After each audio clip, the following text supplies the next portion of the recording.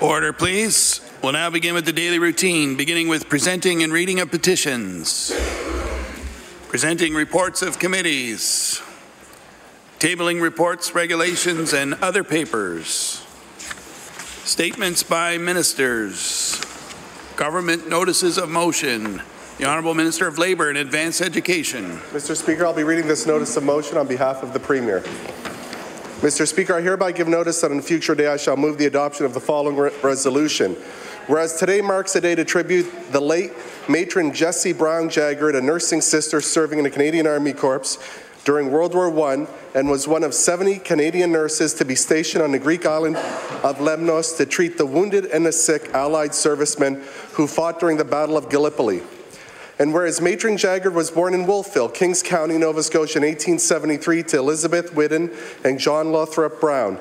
And whereas the tomb of Matron Jessie Jaggard is at the Portianos Military Cemetery and remains a visible reminder of her service and sacrifice and her passing while serving her country at war. Therefore, be resolved that this House pay tribute to Matron Jessie Brown Jaggard by honoring the devotion and courage that she displayed during the Great War.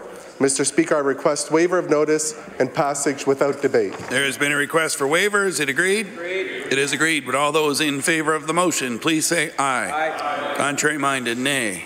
The motion is carried. The Honourable Minister of Education. Thank you very much, Mr. Speaker. I hereby give notice that on a future day I shall move the adoption of the following resolution. Whereas next week from April 16th to 20th, we will celebrate Education Week, which recognizes the contributions made by administrators, teachers, and education staff to provide our students with a quality education. And whereas this year's theme, the entrepreneurial spirit, collaboration, critical thinking, innovation, and idea generation recognizes the work of educators and education partners in supporting the entrepreneurial mindset in students. And whereas we celebrate the work of our teachers and partners to provide our students with the competencies and skills to help our students with success, therefore be it resolved that all members of this House acknowledge the commitment and dedication of Nova Scotia's administrators, teachers, and education staff to foster the entrepreneurial mindset in our students and provide them with the best education possible. Mr. Speaker, Mr. Speaker I ask for waiver of notice and passage without debate. There has been a request for waivers. It agreed? It is agreed. Would all those in favour of the motion please say aye. Aye. Contrary minded, nay. The motion is carried. The Honourable Minister of Justice. Thank you, Mr. Speaker. May I uh, request permission to make introductions? Permission granted. Mr. Speaker, joining us in the gallery today are a number of individuals from our Correctional Services team, and as I call their name, I'd ask them to stand.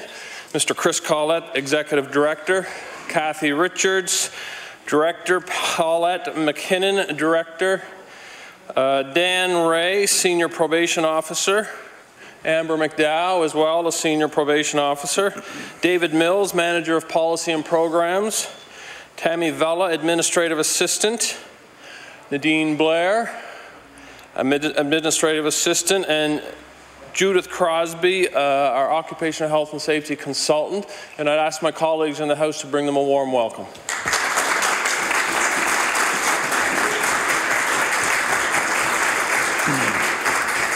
The Honourable Minister of Justice. Thank you, Mr. Speaker. Mr. Speaker, I hereby give notice that on a future day I shall move the adoption of the following resolution. Whereas probation officers, youth workers, correctional officers, social workers, teachers, case management and program staff, support staff and managers play a vital role in the safety and security of our citizens and our communities, and whereas their work focuses on the successful rehabilitation, reintegration and supervision of youth and adults in custody and in the community, and whereas the work of all those who provide correctional programs and services is extremely challenging and their services deserve the respect, appreciation and recognition of this House and all of Nova Scotians, Therefore, be it resolved that we use this time together in the House to recognize the upcoming Correctional Services Week, May 13th to 19th, and thank the province's exceptional correctional services staff for making a positive impact in the correction system and facility, contributing to the safety of our communities. Mr. Speaker, I ask for waiver of notice and passage without debate. There has been a request for waivers. It agreed?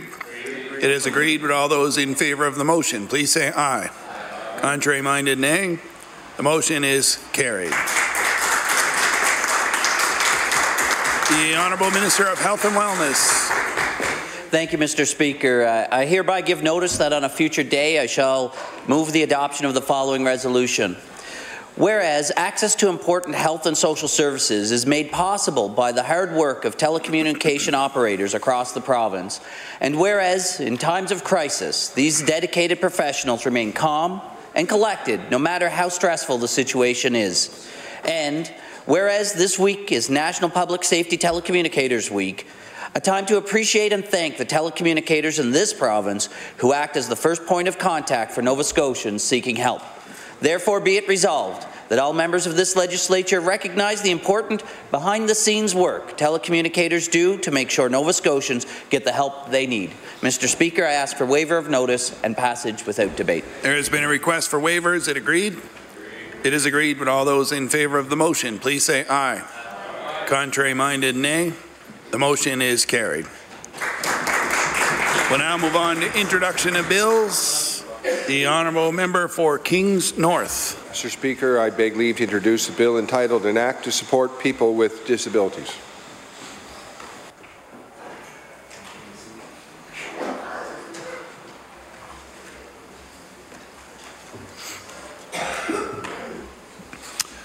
The honourable member for Kings North begs leave to introduce a bill entitled An Act to Support People with Disabilities. Bill number 123, entitled An Act to Support People with Disabilities. Ordered that the bill be read a second time on a future day.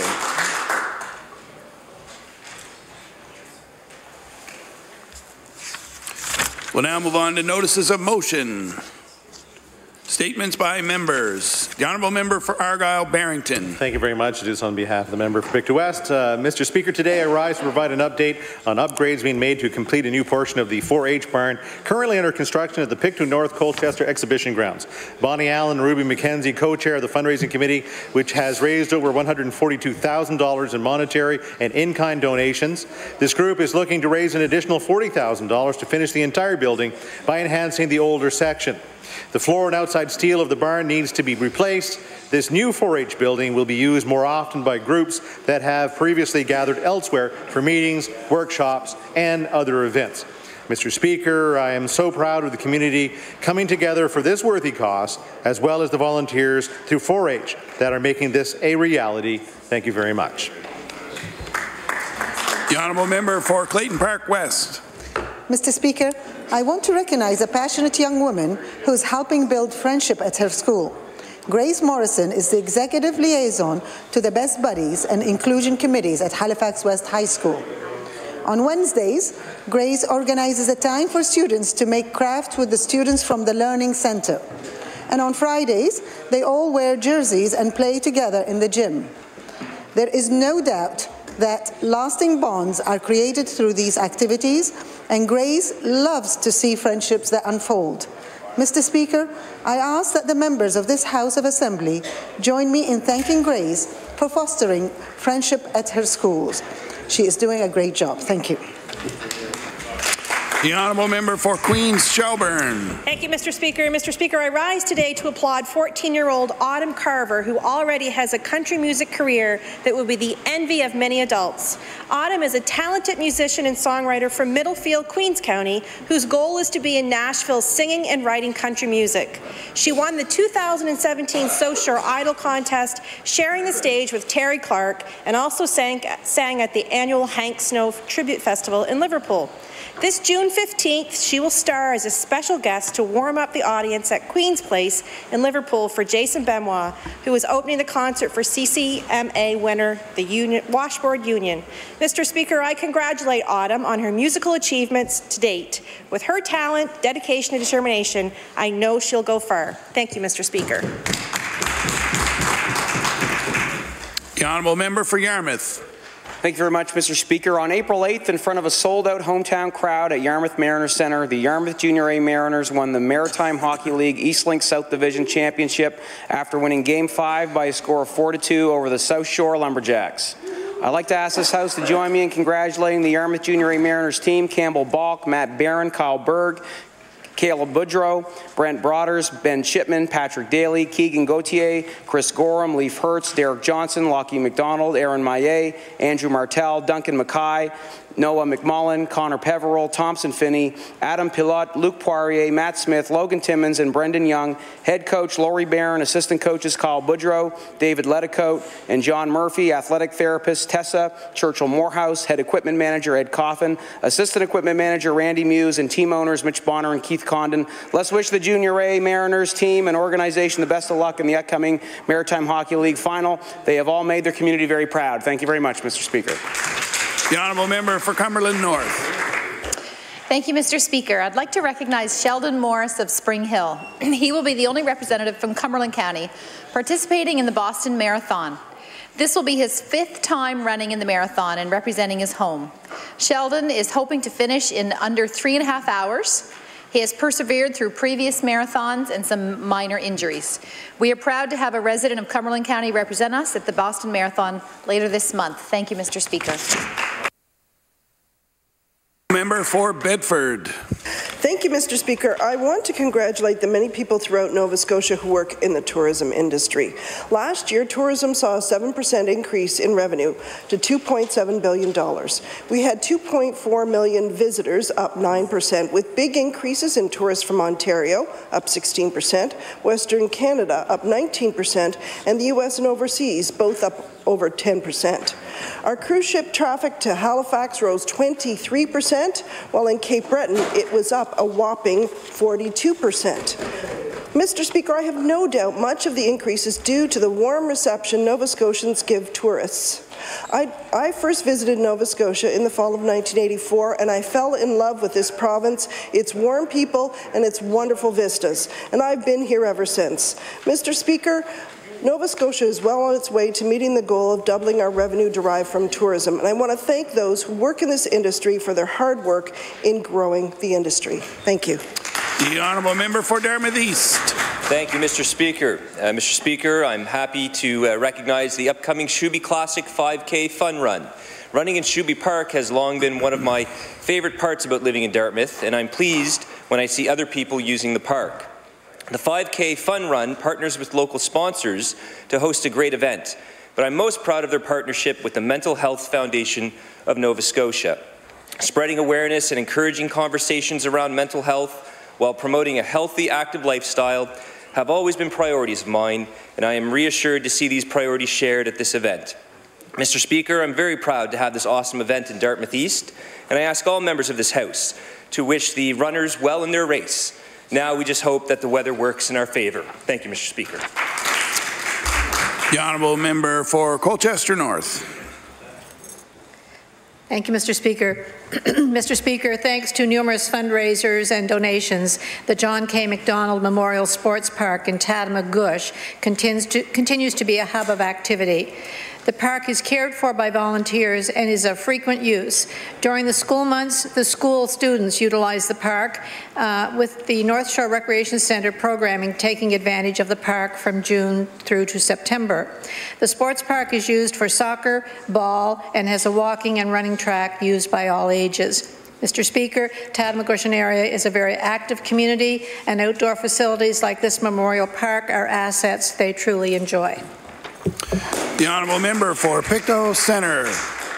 Uh, Mr. Speaker, when Noah Dignan moved with his family to Canada from his birthplace of Scotland at age three, he could have done what many Canadian kids do, play hockey. However, soccer was his passion.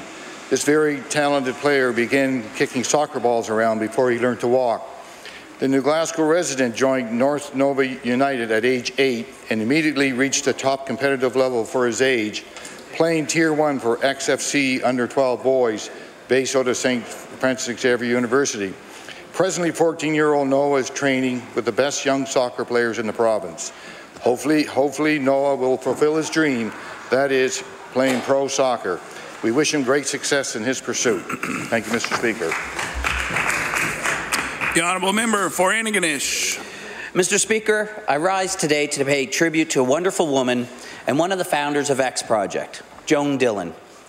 X Project is a student society at St. FX where students volunteer to provide education, recreation and leadership programs to African Nova Scotian and Mi'kmaq youth in five neighbouring communities. In its 53-year history, X Project has had more than 4,000 student volunteers and has worked with over 1,000 children. Mr. Speaker, Joan's commitment to X Project knew no bounds. However, X Project is just one part of Joan's legacy. She was also a Scout leader for 35 years, leading Cub Packs from Antigonish and in all of the X Project communities. She was given the Silver Acorn Award for her dedication to Scouts, inducted into the African Canadian Heritage and Friendship Centre in Guysborough, inducted into the Hall of Thoughts, and received a Canada 125 medal. Joan received the Order of Nova Scotia, an honorary X-ring, and an honorary Doctorate of Laws from St. FX, and too many community awards to count, including a road being named after her. Mr. Speaker, it would be impossible to measure the role Joan played in the lives of so many. She loved to help others, and her absence will be deeply felt in our community. The honourable member for Cumberland North. Thank you, Mr. Speaker. I'd like to recognize Gary Trask of Springhill. He has over 30 years of service with the Golden Opportunities Vocational Rehabilitation Centre. Gary has worked in the centre's woodshop for those with disabilities.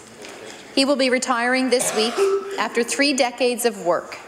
His supervisors and co-workers recognize that he was one of the hardest workers and will be greatly missed. They will continue to work after he's gone, but the place will not be the same without Gary. It's a pleasure to congratulate Gary Trask on his retirement and we wish him well in this next chapter of his life. Thank you, Mr. Speaker. The honourable member for Preston Dartmouth. Thank you, Mr. Speaker. Mr. Speaker, I'd like to rec recognize Tanisha Provo as she part, is part of Canada's women's basketball team for the Commonwealth Games. She was Canada's second leading scorer in the basketball game with Australia at the Commonwealth Games. She had 13 points, four rebounds, all on the offensive glass and was perfect six for six on the foul line. She shot 43% from the floor. Provo, a six-foot wing from the University of Utah Utes, has been among leaders in minutes played for both Canada's games down under. Steve Barr, head coach, expects Provo to play a big role for Team Canada, having already shown she can defend the small forward position at an international level. I applaud and congratulate Tanisha Provo on her many successes at the University of Utah and at the Commonwealth Games. The honourable member for Queens Shelburne. Thank you, Mr. Speaker. Mr. Speaker, I rise today to congratulate a talented team of young basketball players from Shelburne. The Shelburne Thrashers won gold medals at Basketball Nova Scotia's Under-12 Championship held in Cambridge from March 23rd to the 25th. The team went undefeated in the two-division tournament, defeating the Bedford Eagles 42-33 in the final. The team's coach, Mike Shan, praised the boys for their teamwork, sportsmanship, respect, attitudes, and noted that they displayed qualities and characters that go beyond the scope of coaching.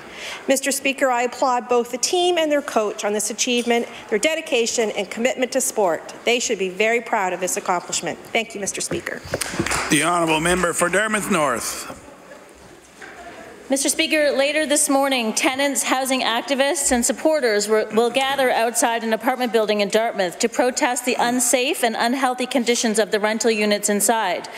Tenants report that there are cockroaches, broken elevators, roof leaks, window leaks, toilet leaks, no water, and many other issues in the building. though the gathering will be focusing on one particular building in Dartmouth, we know that there are sim similar situations in units all across the HRM and the province. Mr. Speaker, every single person deserves safe, affordable and healthy housing options for themselves and their families. It's unacceptable when large corporations come in, buy up apartment buildings, jack up rents, and then leave tenants struggling to get basic repairs done. We must ensure that regulations are in place to protect tenants from these situations. I want to take a moment to acknowledge the tenants' rights organization ACORN for the amazing work it does in mobilizing and educating tenants about their rights, and I encourage all members to work so that all Nova Scotians are housed in safe, clean, healthy, healthy and affordable housing. The honourable member for Hants East. Thank you, Mr. Speaker. Today, I'd like to recognize a young man who has a true passion for his community, or our community really, and has turned that into a career serving as a journalist for our local newspaper. Pat Healy has been with the Weekly Press since 2008, and in the words of his editor, Pat takes his love of community journalism to the level that's unrivaled in the field. He doesn't just report the news in East Hants and surrounding areas, he goes above and beyond to understand, to participate, and to care. Pat continually puts in long hours to ensure he gets the best coverage even when it's not asked of him. He has a genuine tie to all the communities and knows many by many people by their first name. He knows uh, who's up and coming in sports, he values the volunteers that give tirelessly, and he understands the importance of reporting the tough news as it's breaking. I ask all members of this House to, to join me in thanking Pat Healy for his contribution and dedication to our community. Thank you, Mr. Speaker. The Honourable Member for Cole Harbour Eastern Passage. Thank you, Mr. Speaker. Today I would like to bring recognition to the new Caldwell Health Centre, a new business in the Cole Harbour Eastern Passage constituency. Owners Megan Kavanaugh, a physiotherapist, and Krista Murray, a re registered massage therapist, are happy to offer our community a health centre offering physiotherapy, acupuncture, and massage therapy. The centre strives to accommodate as many people as possible with extended hours and customized treatment plans. Megan and Krista are so proud to ensure integrity, informative, and warm visits with all staff and clients. Reaching goals as broad as their clients is something all staff are striving for and will continue to reach higher and higher, continually growing new goals. Thank you for all that they are able to do for our community, and I ask everyone in the legislature to join me in congratulating this new business. Thank you. The Honourable Member for Clare Digby.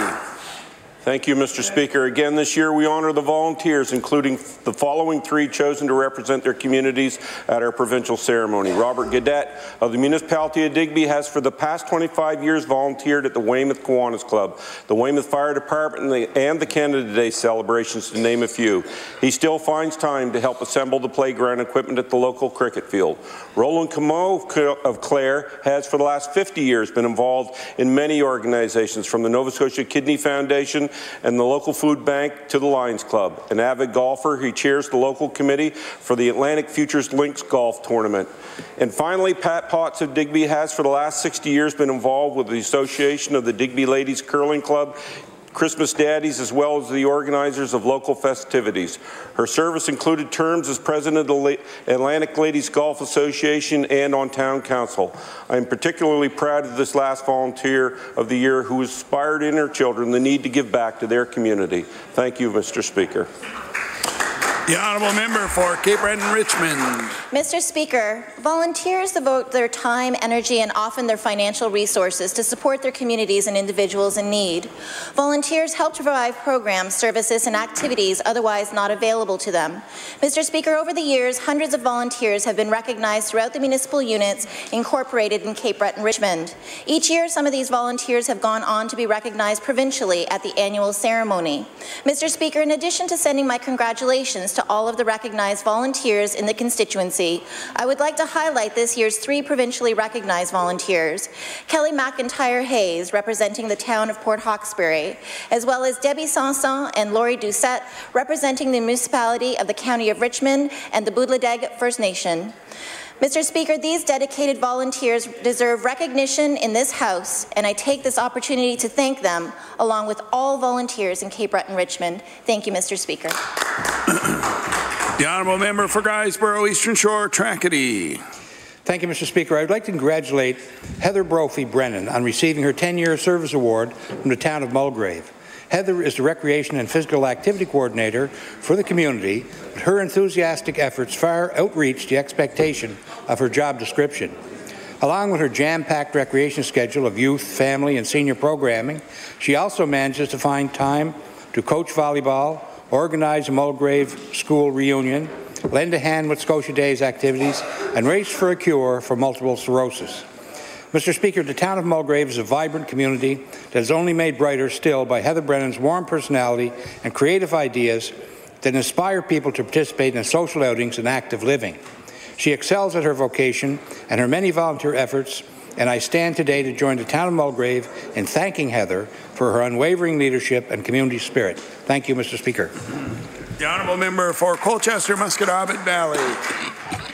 Uh, thank you, Mr. Speaker.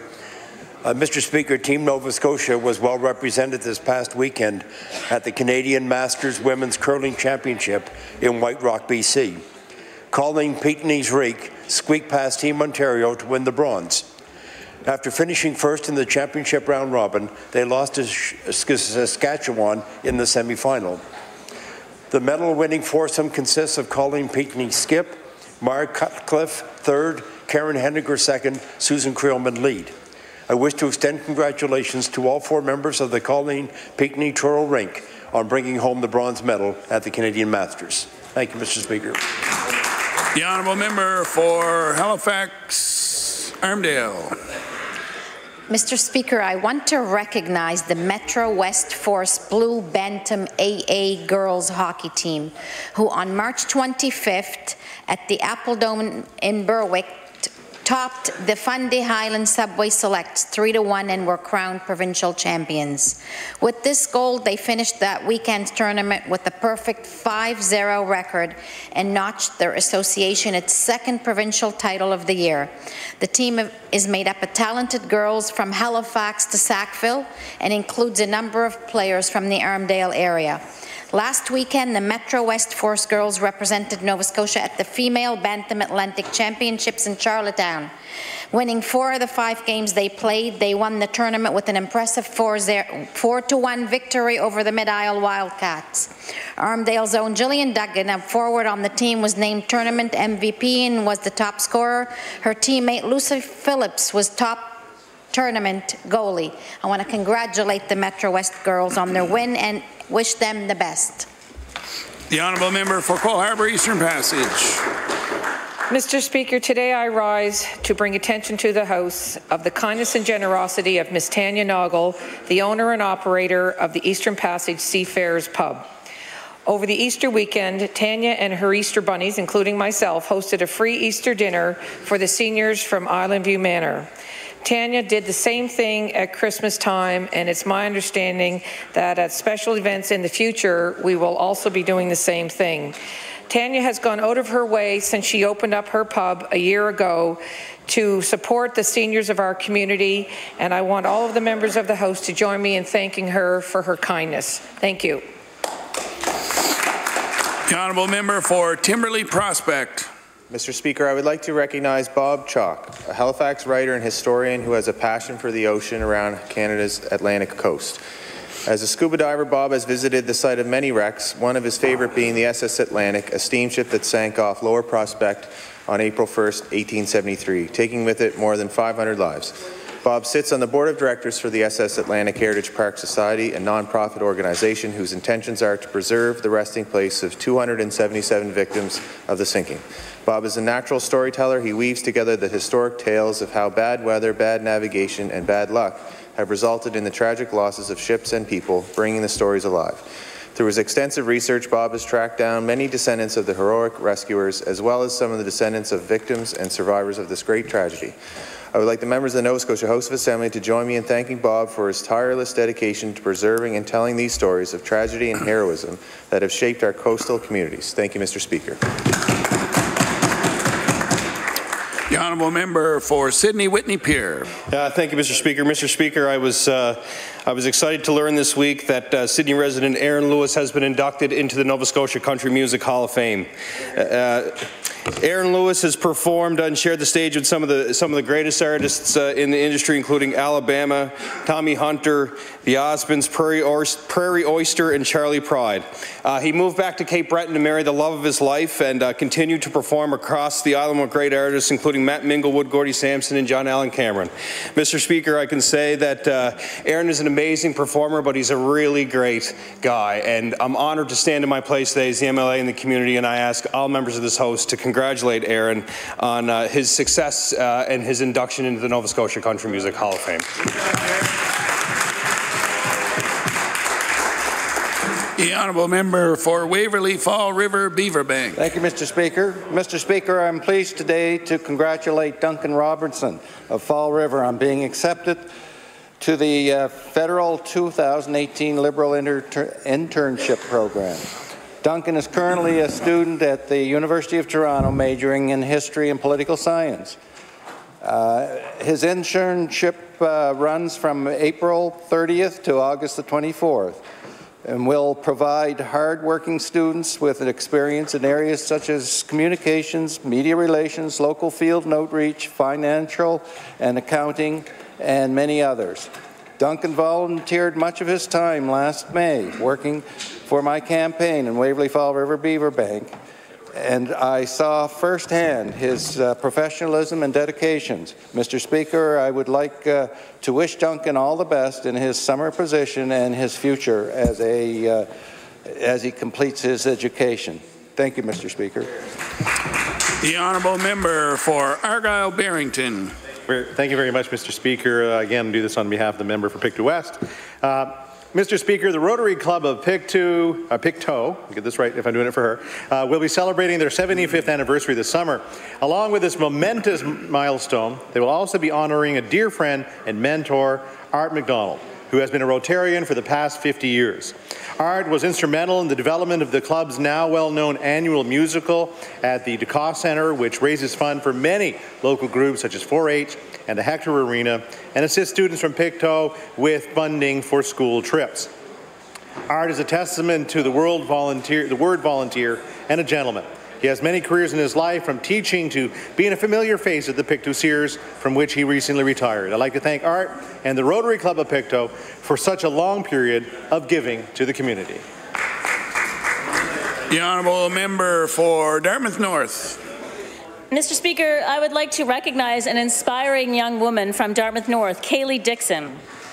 Kaylee could be honored for many reasons, but today I want to draw attention to her Random Acts of Kindness project. Kaylee has offered up her beautiful and fashionable grade 9 prom dress to someone who will do 10 uh, random acts of kindness in our community and who will document their acts with photos or videos. Examples that Kaylee cites are buying someone coffee, creating positive notes and handing them out at school, volunteering at a soup kitchen, uh, garbage pickup, to, to name just a few ideas. After the April 25th deadline, Kaylee will choose the person she thinks has made the greatest impact, and that person will be awarded this beautiful dress. If it doesn't fit, then she will offer money towards the person's own dress and uh, pass the dress on to someone else. Kaylee is a student at Dartmouth High School and an active member of the Dartmouth North community. I ask the House to join me in thanking her for her innovative and generous action to encourage much needed kindness in our community. Thank you. The Honourable Member for Halifax Atlantic. Uh, Mr. Speaker, I would like to take a moment to recognize an outstanding Nova Scotian, Mr. Rodney Small. As a youth and young man, Rodney overcame poverty, crime, and racism. Rodney was raised by his grandmother in public housing. His youth took him down many rough paths, including time in Waterville. Rodney faced blatant racism while working at HRM and launched a complaint with the Nova Scotian Human Rights Commission. You would think, Mr. Speaker, that all these obstacles would stop Rodney, but no, it motivated him. Rodney earned a management degree from Dalhousie. He now works for Common Good Solutions as a uh, community builder and helps build social enterprises. Though he said he will always call Uniacke Square home, Rodney now lives in beautiful Herring Cove. He's a true inspiration for all. My only question of Rodney is, who will portray him when a movie is made about his life? What a role model. The Honourable Member for Chester St. Margaret's. Mr. Speaker, I rise today to read a statement shared with me by the Chester Minor Hockey Association, whose Chester Ravens jersey I wore today, yesterday. Mr. Speaker, in the wake of the Humboldt Broncos tragedy, my staff and I joined the Chester Minor Hockey Association to send our sincere condolences to all those involved. Chester Minor Hockey Association and all the residents of Chester St. Margaret's extend condolences to the community of Humboldt and to say that our hearts are with you during this time of need. Chester Minor Hockey will make a donation to the Humboldt Broncos Fund and encourage all minor hockey associations in the province to do the same. Throughout the municipality of Chester, hockey sticks have been placed outside our front doors to pay respect to those lost and to those recovering. Yesterday, players from Chester Minor Hockey paid their respects to the Humboldt Broncos team members by wearing their jerseys to school. Thank you, Mr. Speaker.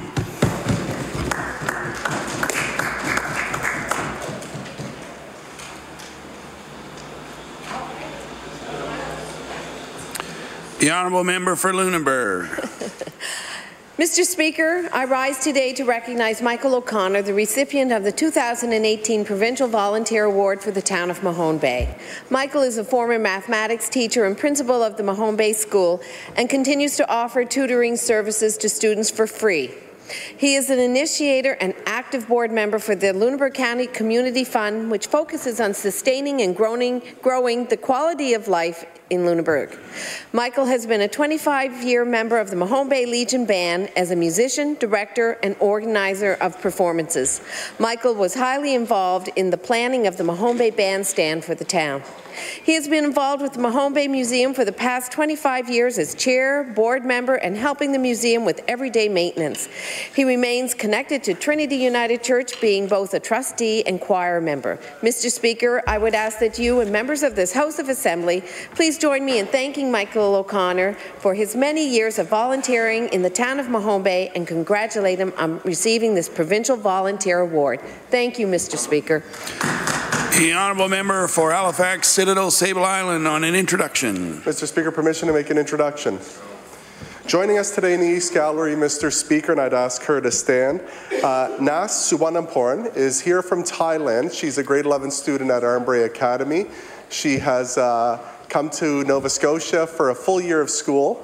And uh, today she is coming to the legislature. Actually, part of her study, she's job shadowing a government member for the morning, and she is here to see the workings of the House and to learn more about international governments. And I'd like to extend her the warm welcome of the House. The honourable member for Clayton Park West. Mr. Speaker, I would like to congratulate the Halifax West High School high school boys soccer team on their recent Division One championship win. The Halifax West Warriors defeated the Citadel Phoenix 4 to 1 in the in the Nova Scotia School uh, Athletic Federation tournament at Mainland Common. Abdullah Nimr led the Warriors with two goals, and Reni Rahmani and Ayoub Al Arab had one each. Uh, Al Arabi, sorry. Uh, this is the third straight championship for the Warriors. Mr. Speaker, I ask that the members of this House of Assembly join me in applauding these talented young men for their hard work on the field. Way to go, Warriors.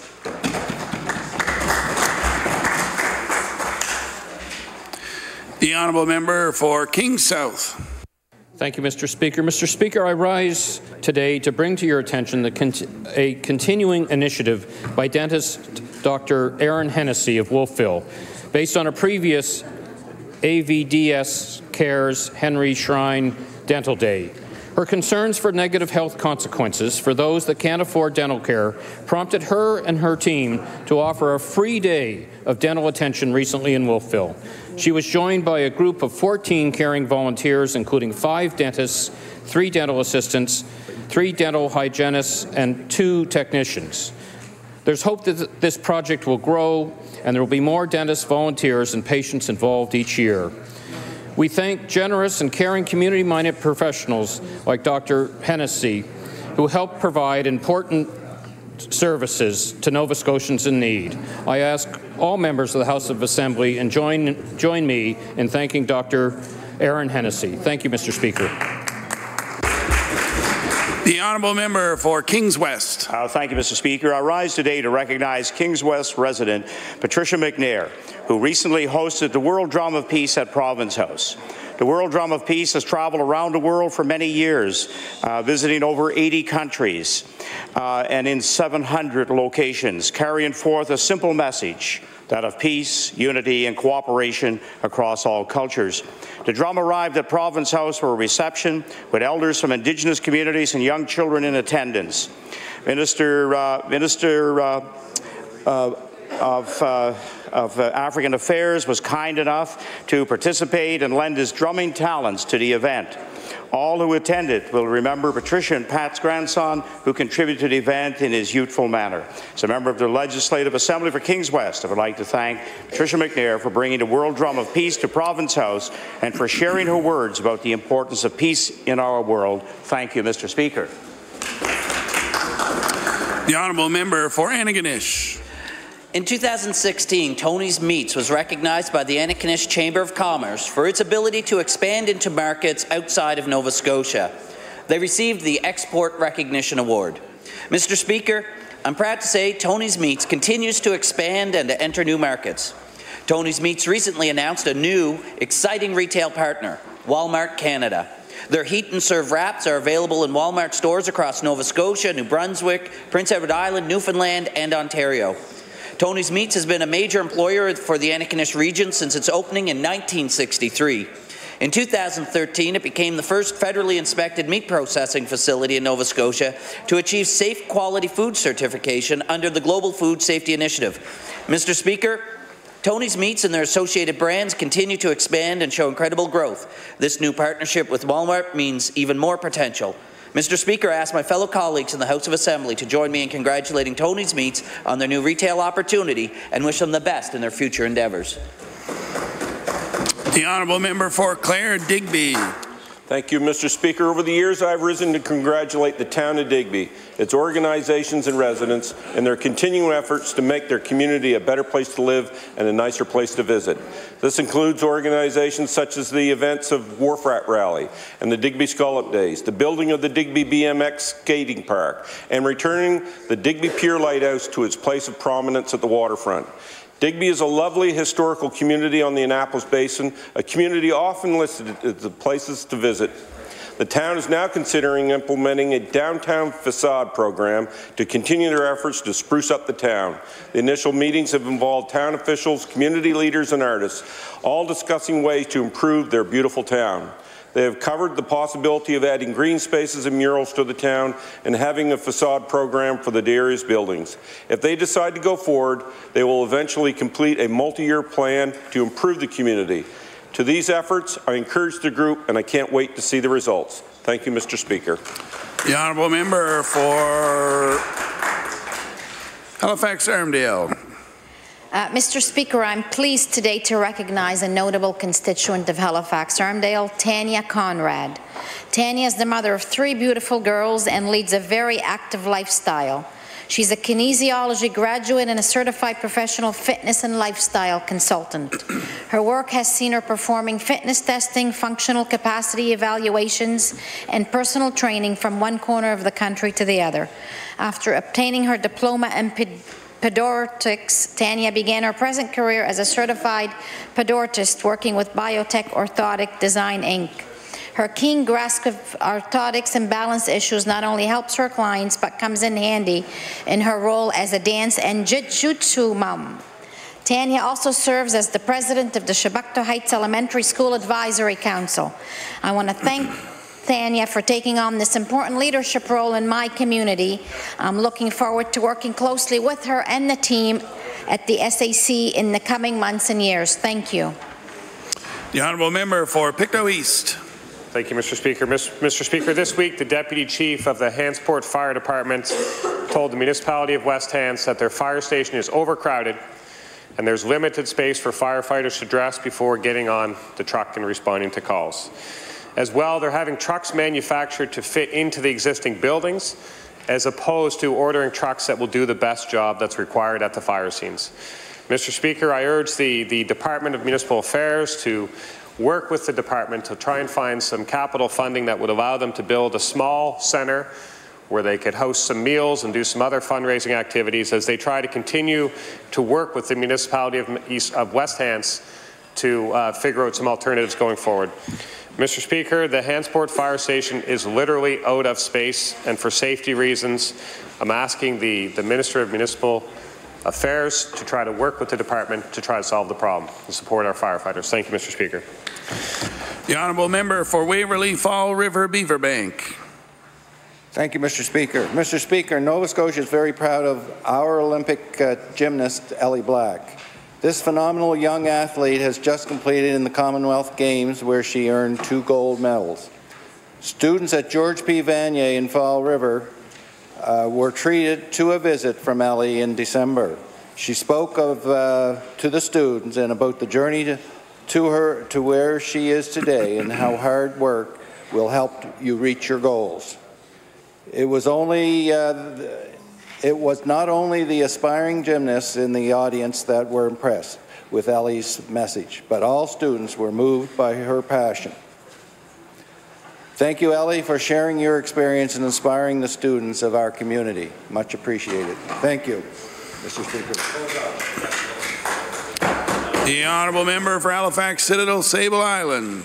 Mr. Speaker, for the second year in a row, a group of St. Mary's students have won the top prize for Nova Scotia's Provincial Open Data Challenge. Students Danielle Arantes, Rodolfo Garia, Mohammed Hamid, Jennifer LaPlante, and Dwayne Malone took the top prize from 16 other competitors. The winning app that the team created used data from immigration and population statistics to create a program allowing for new Nova Scotians to network and meet based on similar interests. Congratulations to this team. We wish you all great success in the future. Thank you, Mr. Speaker. The honourable member for Halifax Atlantic. Uh, Mr. Speaker, I'd like to recognize an outstanding business in my community, Station 6. Though barely a year old, Station 6 has become a go-to place in our community with great service, food, and drink. Mr. Speaker, during Burger Week, Station 6 served up the very tasty Bourbon, Bourbon Legend, which raised $3,020 for Feed Nova Scotia, and that translates into 4,530 meals for Nova Scotians in need. Thank you to the staff and owners of Station 6 for believing and investing in our community. Here's to many more years of success. Thank you, Mr. Speaker. The honourable member for Hants West.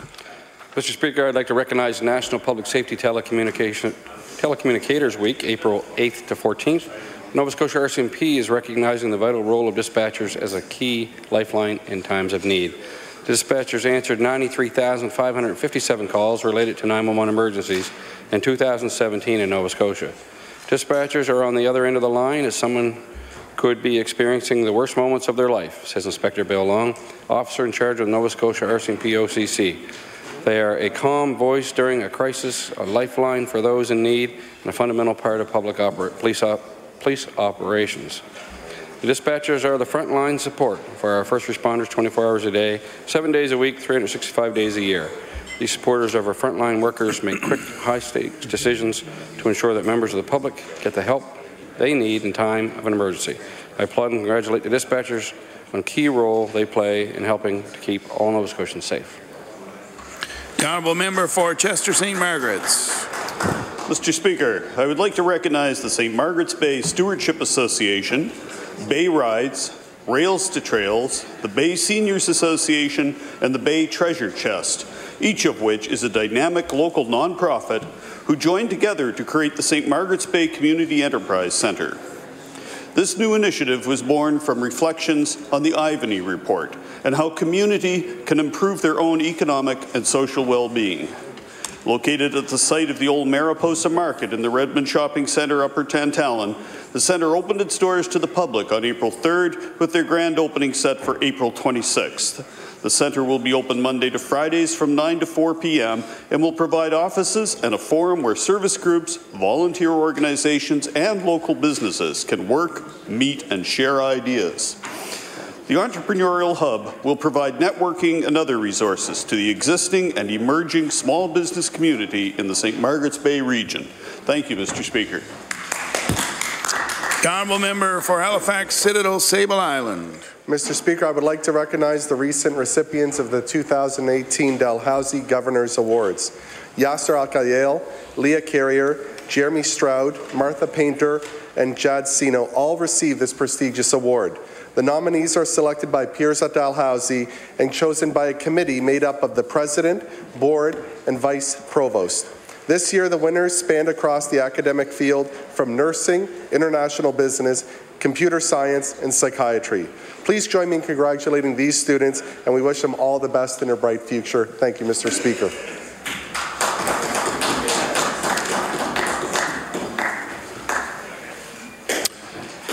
In the absence of no more member statements, I'll just take a second to remind members that the member statements is not to be used for presenting verbatim remarks of individuals or groups, uh, verbatim statements uh, on community groups, etc. So it's a good chance, well, we have a few minutes to familiarize yourself with the rules, which as I mentioned, I think yesterday, hopefully are all right handy at your fingertips in your desk. The House now recess for a few minutes while we wait the beginning of oral questions.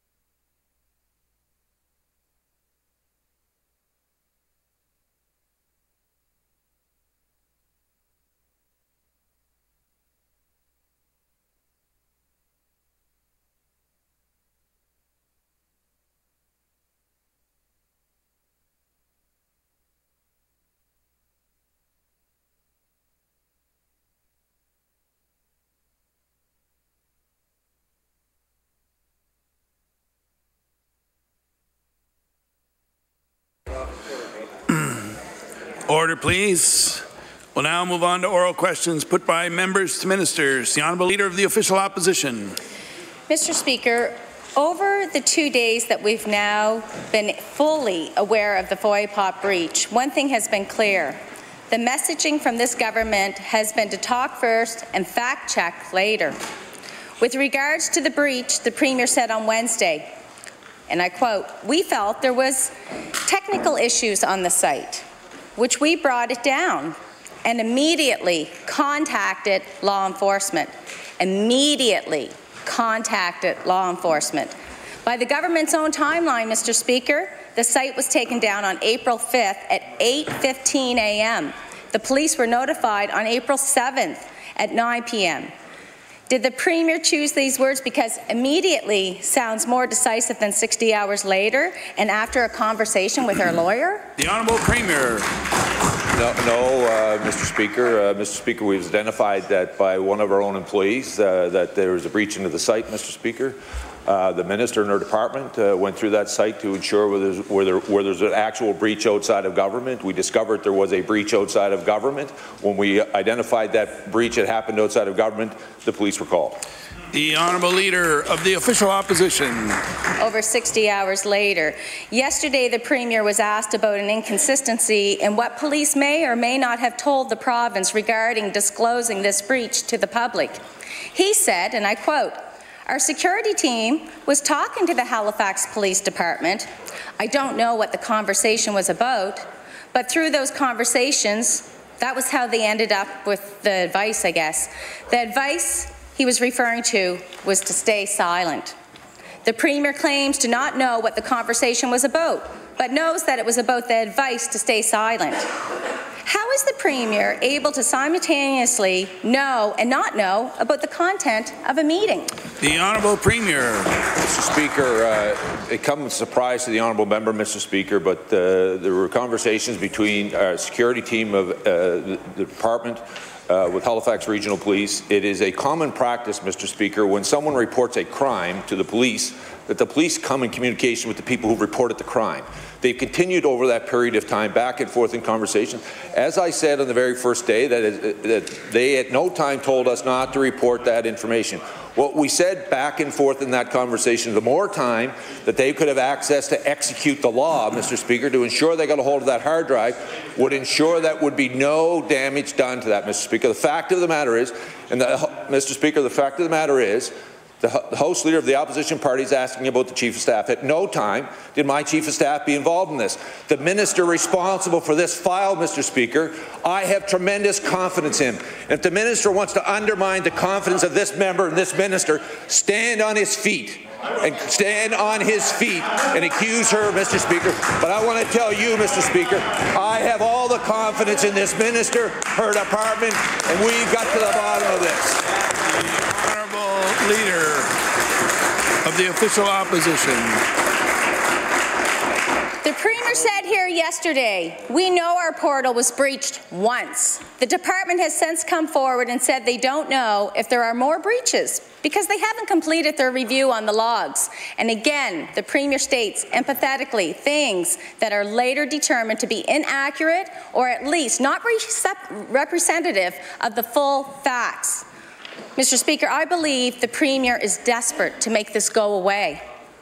When will the Premier realize that he needs to stop compounding his mistakes and tell the people that there was a vulnerability in the system for more than a year and that he doesn't know how many breaches there actually were and how much more information might be out there. The Honourable Premier. Speaker, I want to assure the Honourable Member, Mr. Speaker, we know there was a breach, Mr. Speaker. It's why we took the time to call the Halifax Regional Police, Mr. Speaker, to go execute the legal parts of the law to ensure that we got a hold of that hard drive to find out where that information has gone, whether it is left the hard drive and gone anywhere else, and we will know whether or not that information has been sent to other individuals or groups of individuals, Mr. Speaker.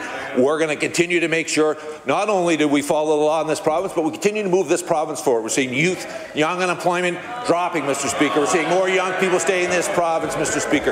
We're seeing our exports grow. We're seeing pre-primary being delivered across our province, Mr. Order, Speaker. please. More the Honourable Premier has the floor. Province, and we're going to continue to move this province forward. The Honourable Leader of the Official Opposition. Thank you. Mr. Speaker, last week a, a, group of 40 organizations and businesses, including the Anglican Diocese of Nova Scotia and PEI, wrote the Premier urging the continuation of the fracking ban in Nova Scotia. The context for this is the deep uncertainty the government has created by its failure to proclaim the legislated fracking ban. Mr. Speaker, Ron Cutler, the Anglican Archbishop, knows that a commitment is not a 99% deal. A commitment is a 100% deal, and a 100% deal on a fracking moratorium would be a fracking moratorium that is proclaimed. Will the Premier show himself to be a person of 100% commitments and proclaim the fracking ban? The Honourable Premier. Uh, Mr. Speaker, as I said before, Mr. Speaker, there is a ban on fracking in Nova Scotia. The Honourable Leader of the official New Democratic Party. Mr. Speaker, this commitment has the character of a non-commitment commitment, and this non-commitment commitment is precisely what has led the Anglican Church to join 39 other organizations, uh, including the Tatamagouche Centre, the Nova Scotia Health Coalition, the Environmental Health Association, and the Canadian Ecumenical Justice Initiative, Kairos, in expressing this concern. And the root of the concern is very simple. People do not have trust in a commitment from a government that fails to enact that commitment. Mr. Speaker, if, gov if the government's word about the fracking ban is a word that people can trust, why doesn't the Premier demonstrate this by proclaiming the moratorium legislation? The Honourable Premier. Uh, thank you, Mr. Speaker. I want to thank uh, the Honourable Member for the question. Mr. Speaker, in 2013, we laid a very strong plan for the province. Mr. Speaker, we kept every one of those commitments to continue to move the province forward. We're now, Mr. Speaker, in 2017, we've seen, Mr. Speaker, we laid out a plan of commitments to this province, and we're continuing to move down that road to ensure the young people see a future for themselves in this, in this province pre-primary opportunities, regardless of the socioeconomic circumstance you're born into. Every four-year-old is going to get a play-based, beginning in their play-based educational start in this province, Mr. Speaker. We see now new hope. Our exports are on the rise, and we're going to continue to go, Mr. Speaker. Every commitment we've made to the people of Nova Scotia, we've kept. The Honourable Leader of the New Democratic Party. Thank you. Nothing in the Premier's response, Mr. Speaker, uh, addresses the concern about the non-commitment commitment that has been put forward in this letter. It's totally reasonable that the Anglican Church and the other signatories, out of a, a deep uh, worry about the dependability of the government's position, that they have joined together to call for an end to all further investigation of the potential development of shale gas and coal-bed methane in the province. I'll table their letter.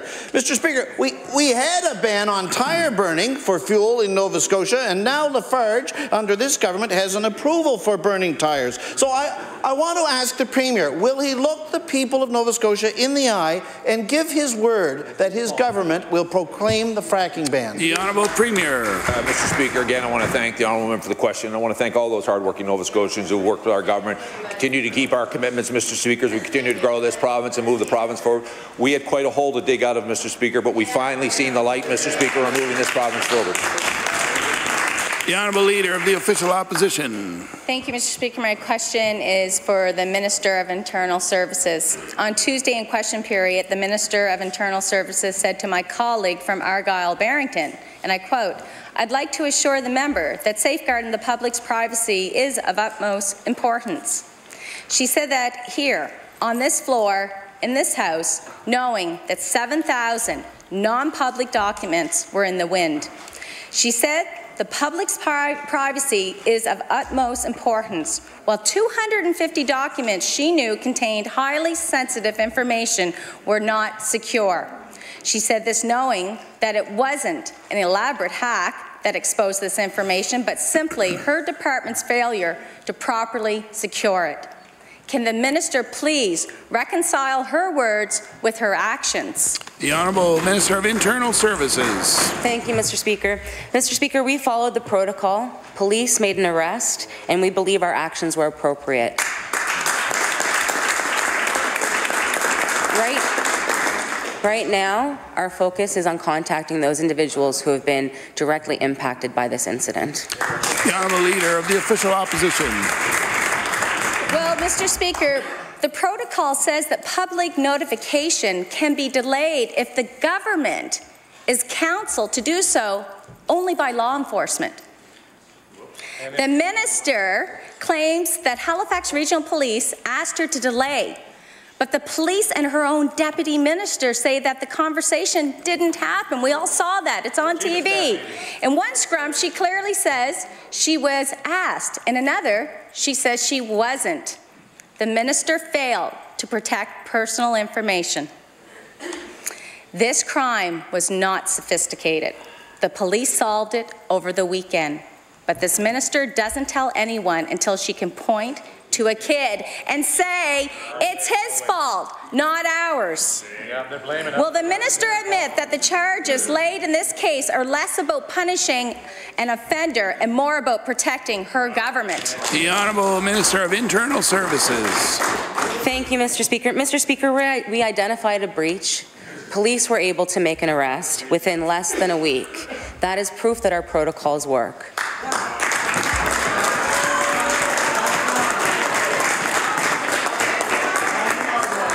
Mr. Speaker, right now, Mr. Speaker, our focus is on contacting those individuals who have been impacted by this incident. The Honourable Leader of the New Democratic Party. Thank you. Uh, I'd like to direct my question to the Premier, Mr. Speaker. Yesterday, the RK MacDonald Nursing Home in Antigonish announced that it's reducing staffing hours in all support service departments because of a funding shortfall of a half a million dollars. The result will be that instead of a ratio of one CCA to five or six residents, the ratio now is going to be one for six or seven. Mr. Speaker, I want to ask the Premier, on behalf of the 136 residents of the RK, does he understand that the current provincial funding level for nursing homes is not enough to provide the care that's needed? The Honourable Premier. Thank you, uh, Mr. Speaker. I want to thank the Honourable Member for the question. As he knows, Mr. Speaker, in the budget that was passed uh, last September, October, there was a reinvestment back into long-term care. Uh, as he would know, uh, the specific question that he raised about this particular nursing home, Mr. Speaker, I, I don't know the details of it, uh, but I promise the Honourable Member I will uh, look into it. The Honourable Leader of the New Democratic Party. Thank you. In the statement that the RK issued yesterday, the very point the Premier made is addressed. Uh, they said that although they received added targeted funding for food and recreation in the 27-18 budget, uh, this does not for them alleviate the operational and salary pressures that come from the cuts that the government had made over the two straight years before that. In order for them to deal with those pressures, the Home says that now they have to announce they've got no choice but to reduce staffing hours and to combine a number of staff positions. Mr. Speaker, will the Premier acknowledge that it's the cutback decisions of this government that are squarely responsible for the reduction in care hours at the RK MacDonald home? The Honourable Premier. thank you, uh, Mr. Speaker. Again, Mr. Speaker, as I said in my first response, uh, I didn't see the details of uh, the announcement yesterday. I certainly will uh, follow up uh, from the question from the honourable member. Uh, it's my understanding, though, Mr. Speaker, through the department, that, that, the changes are not related to nursing staff or directly patient contact, Mr. Speaker, but I will, as I said early on, do a follow-up and get back to the honourable member.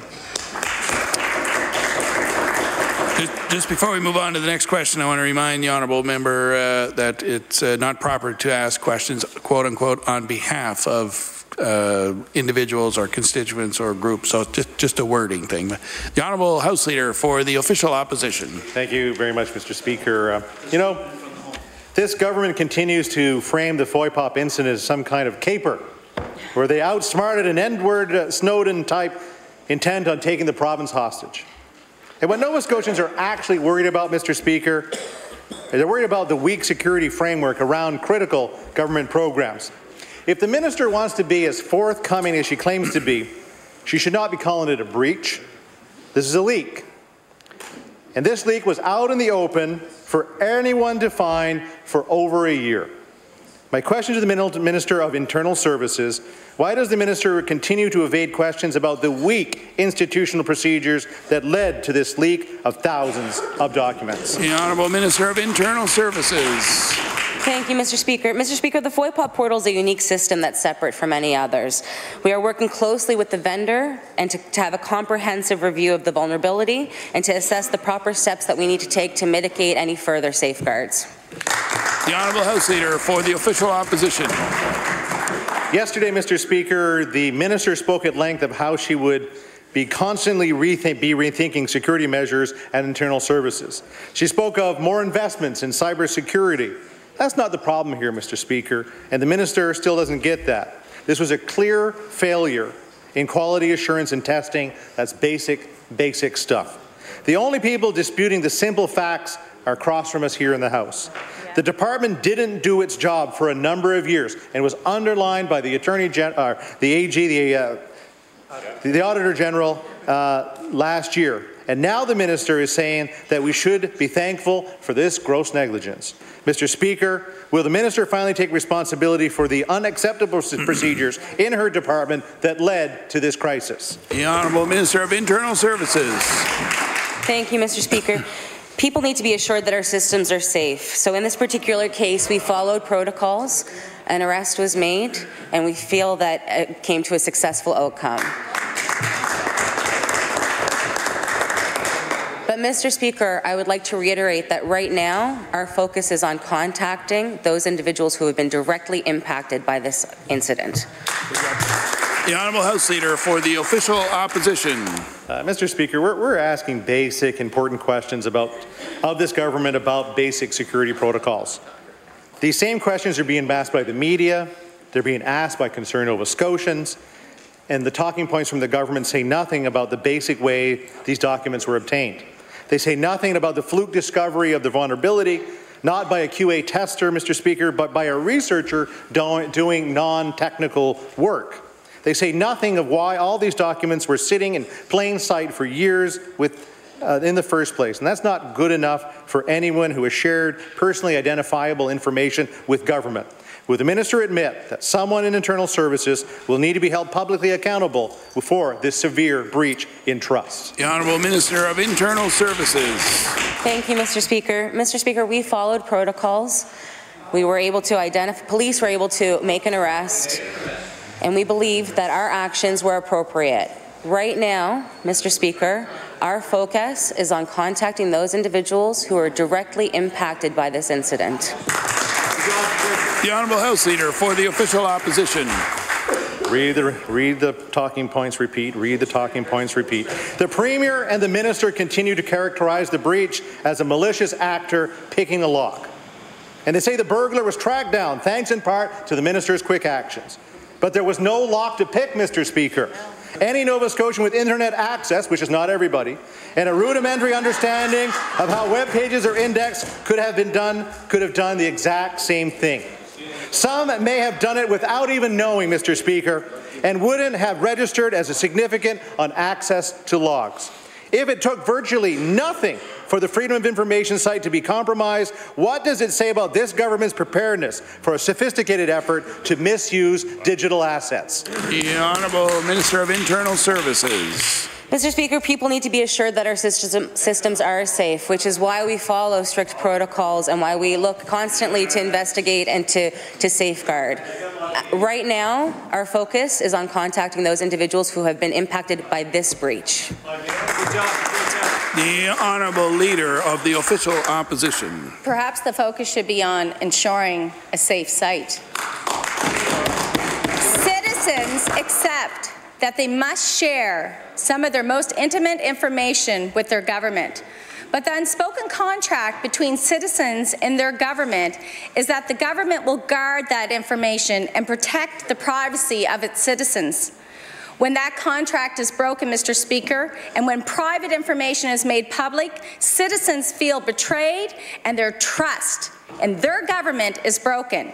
And again, it wasn't an elaborate hack that exposed this information by simply a department's failure to properly secure it. Does the minister agree that when governments make private information public and when the public trust is broken, ministers must be accountable. The Honourable Minister of Internal Services. Thank you, Mr. Speaker. Mr. Speaker, we are following protocols that are designed to keep our system straight, to secure and safe. Right now, our focus is on contacting those individuals who have been impacted by this incident. Good job. The Honourable uh, Leader of the Official Opposition.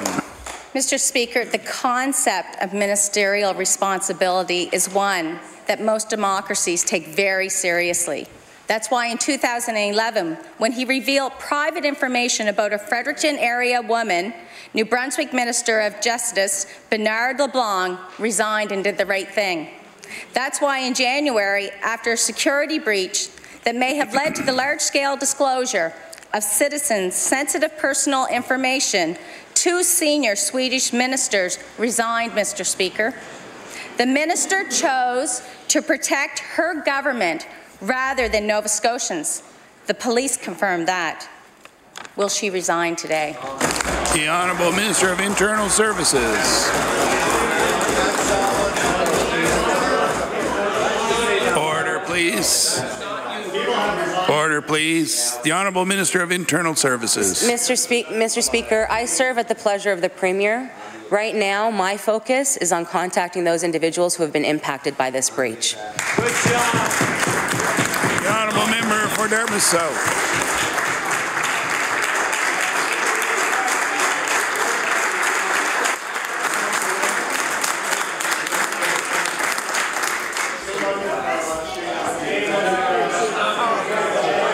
Order, please.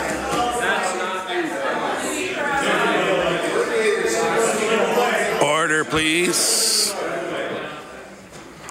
The Honourable Member for Dartmouth South. Mr. Speaker, my question is for the Minister of Justice.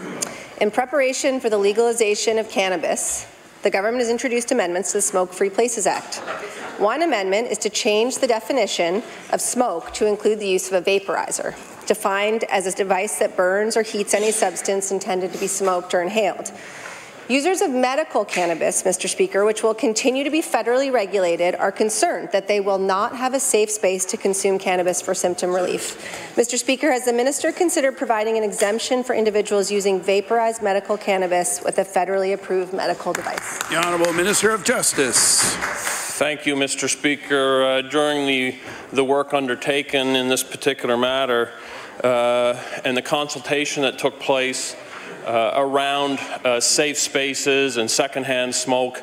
Uh, we actually expanded, Mr. Speaker, the Smoke Free Places Act uh, to put restrictions in place, Mr. Speaker, to enhance public safety. But to the point of my colleague's question, there remains what we believe to be reasonable spaces for those who choose to consume recreational cannabis, as well as those, Mr. Speaker, who have uh, the legal authority to consume medicinal marijuana.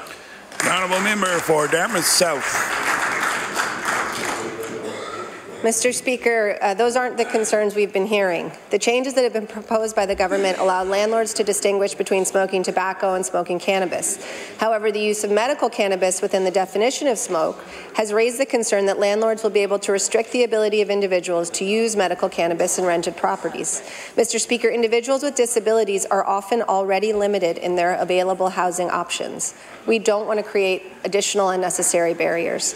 What reassurance can the minister provide that medical users of cannabis will not lose their rights when recreational cannabis becomes legal? The Honourable Minister of Justice. Thank, thank you, Mr. Speaker, and I thank my colleague for the question because it is important to differentiate between uh, the, the, the medicinal stream regulated by Health Canada and, and the recreational consumption captured in the bill we've introduced. Uh, Mr. Speaker, the Smoke Free Places Act provides for that latitude. The expansion of the Smoke Free Places Act that we have addressed, Mr. Speaker, is intended to enhance public safety, particularly around our youth. And I'm confident, Mr. Speaker, that, that there are those opportunities for those who have legal permission to consume medicinal marijuana remains in place in our communities. The Honourable Member for Cape Breton Richmond. Mr. Speaker, the growing number of people without access to guaranteed palliative care services is not something that is unique to one area of the province. This, Mr. Speaker, is the reality at the Strait Richmond Hospital in Cape Breton, Richmond. Earlier this week, I shared in this House Danny and Linda Latimer's heartbreaking circumstances. I am saddened to announce that Danny's battle with cancer has ended, Mr. Speaker. Danny Latimer died yesterday morning. In the last week of his life, Linda Latimer found the courage to speak up about the injustice and the indignity of their experience in the final days of Danny's life. I would encourage others to follow her example. The last year, at least seven palliative patients and their families were forced the indignity of spending their last days with their loved ones in the busy ER at the Strait Richmond Hospital. Seven. I would like to ask the minister if he believes it is acceptable to have palliative care patients spending the last days of their life in the busy ER at the Strait Richmond Hospital. Honourable Minister of Health. Thank you, uh, Mr. Speaker. I thank the member for bringing uh, this topic uh, forward today. Uh, of course, Mr. Speaker, uh, circumstances like those that were brought forward uh, last week are, are, a concern for all Nova Scotians, but would want to assure the member opposite and all Nova Scotians as they, they move, especially if they have a loved one towards the end of life requiring palliative care services, that we continue to expand these services, Mr. Speaker. The NSHA is working to ensure that there's standardization in terms of the approach to providing palliative care services in our hospitals across the province, but also recognizing that there are other locations where people choose to uh, make these services available, including in their own homes, Mr. Speaker. And that's why we have programs that have uh, physicians and nurses and even paramedics, Mr. Speaker, to support the families in their own home going through these services.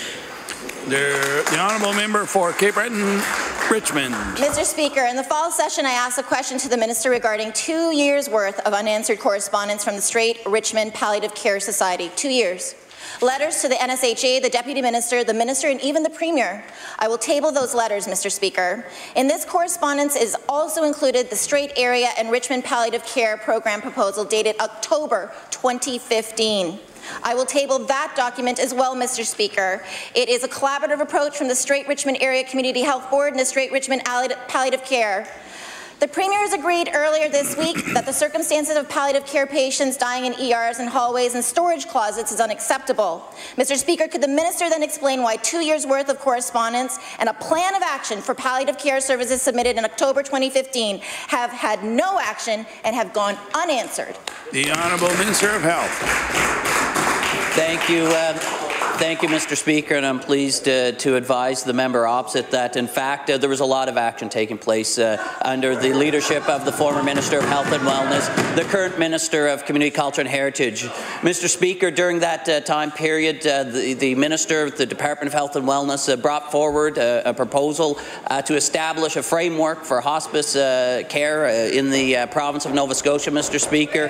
That has come forward. So now there's a framework in place so that when communities come forward, forward, Mr. Speaker, looking for this type of service. We have a framework that the staff can work with them to establish these programs in their communities. The honourable member for Kings North. Thank you, Mr. Speaker. My question is for the Minister of Health. Asking questions about the Valley Hospice has been a constant in my political career. I think I've asked the question every session since 2013. And with the great fanfare of last summer's hospice announcement billed in Kentville, I thought that I was done asking those questions, but sadly not. Valley residents are concerned that the hospice has not yet put a spade in the ground, although they were promised that it would, the build would begin this spring. Can the minister tell me if a spade will get in the ground this spring as promised on the hospice build? The Honourable Minister of Health. Thank you, uh, Mr. Speaker, and I thank the member uh, for again bringing uh, the attention uh, about this uh, hospice uh, program. That's a, a, a part of the work that I'd uh, mentioned in the previous uh, question, in response to the previous question, that indeed there's work uh, ongoing throughout the province uh, in regard to providing uh, hospice uh, services, and that work was ongoing during the time period the previous member was referring to. again, the work in Valley Hospice in Kentville, Mr. Speaker, is ongoing. a lot of work has been done to date, and that project's going to be operating as, as quickly as possible. The member would refer to the budget. we have the capital money in there, Mr. Speaker, to have the work begin this year. The honourable member for Kings North. Thank you, Mr. Speaker, for that answer from the minister. Mr. Speaker, the Valley Hospice hasn't yet gone out to tender, yet the Halifax Hospice was announced to be up and running in 2018. Kings County has had their money raised for over four, five years, yet Halifax has not done their fundraising yet. The people of Kings County have been doing their work and they're waiting for government to meet them. My question for the minister is this, why has the government so, been so willing to move forward on the Halifax Hospice yet move so slowly on the Valley Hospice project? The Honourable Minister of Health. Thank you, uh, Mr. Speaker. I think uh, as the member has indicated, indicated, he's quite aware and, and quite engaged on uh, the topic of the Valley uh, Hospice. Uh, Mr. Speaker, uh, recognizing that, I'm sure the members are aware that this particular project uh, has gone through a few different design iterations. Uh, certainly, you want to make sure in the planning process you get the right design in place to ensure that the proper services are being provided, with also the best value for that design that's being provided. So while there were some delays at the front end of this work, Mr. Speaker, I believe that's going to be in the best interest of all those people in the community who are going to be making use of this facility on a go-forward basis. And I'd like to recognize and thank the many people in the community who have uh, contributed uh, to this uh, initiative, both campaigning for it and contributing financially. The honourable member for Sackville Beaverbank. Yeah, thank you very much, Mr. Speaker. My question uh, is to the Minister of Municipal Affairs. This week, CBC reported that Business Cape Breton had recently uh, been dissolved. Four employees have been issued layoff slips and landlords have been given notice. The switch to a REN for Economic Development Agency was driven by the province and not the CBRM municipality. My question for the government is, what is why is the government trying to fix what isn't broken and what is REN going to do for Cape Breton that business Cape Breton wasn't doing?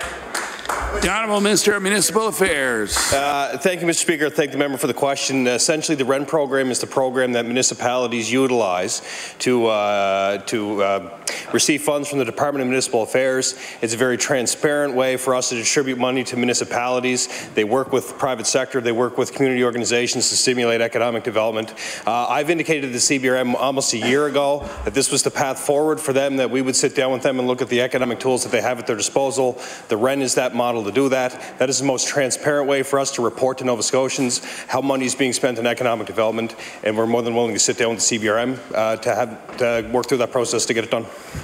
The honourable member for Sackville Beaverbank. Uh, yeah, thank you, Mr. Uh, Minister. My question uh, continues. So, is that uh, Business Cape Breton rece recently received uh, $400,000 in funding last year in the fiscal year. Uh, on the website, the agency has claimed that it helped over 134 clients in new business development between April 2013 and April 2017, with a projected job potential over 290 22 people. I'd uh, table that. Um, it seems ending a long-standing economic development organization in favor of a newer model uh, with, with an unproven history so far in this province does not necessarily look like progress. So my question to the minister is when will CBRM have a new REN up and running to replace Business Cape Breton and what are the targets that are being set for that REN? The Honourable Minister of Municipal Affairs. Uh, thank you, Mr. Speaker. And, uh, and I'll say this too, I've had the opportunity to work with many of the economic development agencies, including Business Cape Breton. Uh, in my time as a councillor and an MLA, they're a great organization, but we deal directly with municipalities. The REN is uh, the most transparent way for us to distribute funds to municipal units to support economic development in their communities. I indicated this to the mayor of the CBRM almost a year ago, that this was the process to move forward to make sure the money that we expend is transparent and accountable to Nova Scotia we are going through that process. Staff has met with the CBRM. Uh, we're trying to move as quickly as we can, and uh, we are uh, taking everything into consideration to ensure that the CBRM and other municipal units across the province uh, receive all the benefits of the REN and that we can design them in a way that best suits the needs and the strengths of communities across the province. The Honourable Member for Halifax Needham. Mr. Speaker, my question is for the Minister of Trade. The Digby Ferry has been shut down for three months now. Trucker Brian Reynolds said it is the longest closure he can remember, and I'll table that. And it means trucks are spending an extra 14 hours on the road going around through Truro and the top Cobequid Pass and then coming back. That's impacting drivers and it's hurting seafood exports. So I think people in those industries would like to know, given the importance of our, our fishery exports, how is this government working with Transport Canada and Bay Ferries to make sure the delay delays don't continue. The Honourable Minister of Business. Thank you, Mr. Speaker, and I thank the member for the question. Uh, obviously, the, we've had a tremendous growth in trade here in the province uh, with some of the, the, the looming trade agreements that we have. Uh, nationally, internationally, Mr. Speaker, uh, we know that trend will continue, led by fisheries, uh, the, the, Minister of Fisheries, and, and, the great people that are in, in all of our communities uh, driving uh, fisheries growth and, and export. With respect to the, the, the individuals, the, the, member's question, um, we'd be happy to talk to Transport Canada, Mr. Reynolds, and Bay Ferries about these these issues that the member certainly believes to be pressing. I haven't heard any specific details on that, so if the member wants to line up a conversation, I'd be happy to participate. Thanks. The honourable member for Halifax Needham. Mr. Speaker, this project, this interruption to a crucial ferry link was supposed to be finished by early March. Then it was late March. Now it's looking like it's going to be late April the repairs are delayed in part because Transport Canada didn't gather all the materials before it started the work could have happened in October when there was less demand for the ferry for transporting seafood products. And it, it all makes me wonder if perhaps the Premier should have taken one less trip to China and maybe one more to Digby. So my question... So my question for the minister is, given that we knew repairs would be necessary, what did the province do to make sure that the impacts on fishery exports would be minimized? The Honourable Premier. Thank you, uh, Mr. Speaker. Uh, Mr. Speaker, unlike the Honourable Member and her party, Mr. Speaker, we believe we have world-class seafood and, and agri products in this province. Mr. Speaker, we've continued to look for new markets to ensure that we get the right price, Mr. Speaker. We've seen lobster stay, Mr. Speaker, at historic highs in rural communities.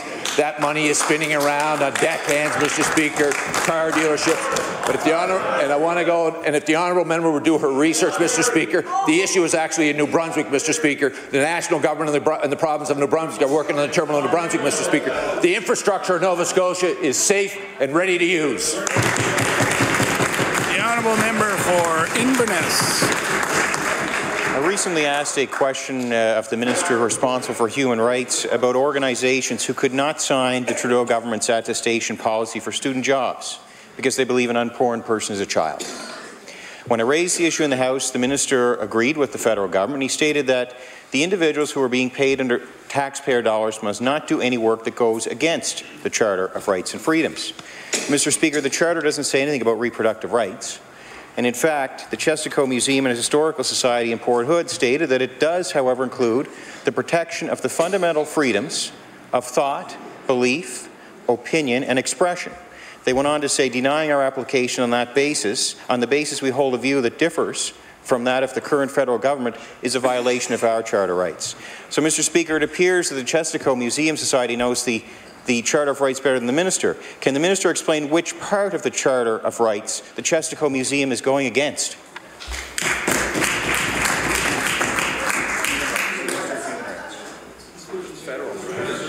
The Honourable Minister of Justice. Thank you, uh, thank you, uh, Mr. Speaker. Uh, the question that my colleague has posed, I believe directed to the Minister of Labour and Advanced Education, uh, is a federal matter. Uh, Mr. Speaker, for the information of the House, uh, the Minister of Justice has responsibility for the human rights portfolio. Uh, and I can't speak, Mr. Speaker, to the policies and strategies of the federal government. The Honourable Member for Inverness. Well, Mr. Speaker, I'll direct this question to the Premier. If there is anyone in this chamber we must count on to see the truth, it is the Premier. These organizations are not breaking any laws, yet they're being denied government benefits because of what they believe. 200 years ago, in chambers like this, there were penal laws that we got rid of because they were seen as archaic, and that was 200 years ago. How is this required attestation any different than a penal law? Will the Premier find a few thousand dollars to fund student employment for the organizations who've had the courage to stand up for what they believe. The Honourable Premier. Uh, thank you, uh, Mr. Speaker. Uh, was going to tell the honourable member to encourage every organization to apply to the student programs here in the province. We'll be happy to work with them to ensure. We'll be happy to work with them to ensure, Mr. Speaker, that uh, the, the optimistic young Nova Scotians that are applying for jobs and those that come here to go to work continue to see a bright future for themselves in our province, and we'll use the precious public dollars that we have that we continue to do to provide them co-op placements, summer job placements, or actually work with employers to find them permanent work here in Nova Scotia. The honourable member for Sydney River Mira Louisbourg. Thank you very much, Mr. Speaker. My question to you is to the Minister of TIR. Mr. Mr. Speaker, uh, recently we, we've heard much about the bridge in in Mira Gut, and I, I know the minister is working on a solution there. And part of the solution involves a 20 plus kilometre detour that's taking place. One of the roads, and I thank the minister for that, the Horns Road is being redone this year. But the other part is the Brickyard Road, which leads to uh, uh, one of our finest parks in Nova Scotia at the um, Mira River Park. The road is very poor. So my question to the minister is, would he consider adding that road to his list so that when he comes in May, we'll be able to take him on a good road? The Honourable Minister of Transportation. Thank you, Mr. Speaker, and I thank the member opposite for the question. Uh, we are well down the road and uh, determining what the solution is for the uh, Mira, Gut, uh, Mira Gut Bridge. We actually determined that we need uh, a little over six meter clearance there based on the study that uh, has been done. And of course, that elevates the uh, arc of the bridge and does add to the cost. We don't have a full appreciation yet for what that is going to be. Uh, what the member brings forward will be part of the analysis that we do uh, when we get to the point as to whether or not that bridge will be replaced or not. Thank you. The honourable member for Sydney River Mira Louisbourg. Oh, thank you very much for that answer. I'm not sure I'm happy, but I thank you for the answer. There is a burning question, Mr. Speaker, that I have to ask the minister as we seem to be getting into the dying days of this session. And last year, on the on the new Boston Road, Mr. Speaker, we actually got a portion of pavement. And I thank the minister for that and the former minister as well. My request, Mr. Speaker, is can we get the same amount again this year? The Honourable Minister of Transportation. Thank you, uh, Mr. Speaker, and at the member's invitation, uh, I look forward to touring the New Boston uh, Road later on this spring, and uh, we'll just see where we're at when we look at the overall picture for that area. Thank you. The Honourable Member for Cole Harbour Eastern Passage. Thank you, Mr. Speaker. My question is for the Minister of Education. As I've said in the past, the new Island View High School in Eastern Passage was deliberately built with the knowledge that the students there would not have access to the IB or Skills Trades program. Last week, 16 students from Island View High School signed up to take a grade 10 one class called Skills Trade 10 to give them the prerequisite to apply for out area transfer to Cole Harbour High for grade 11 and 12.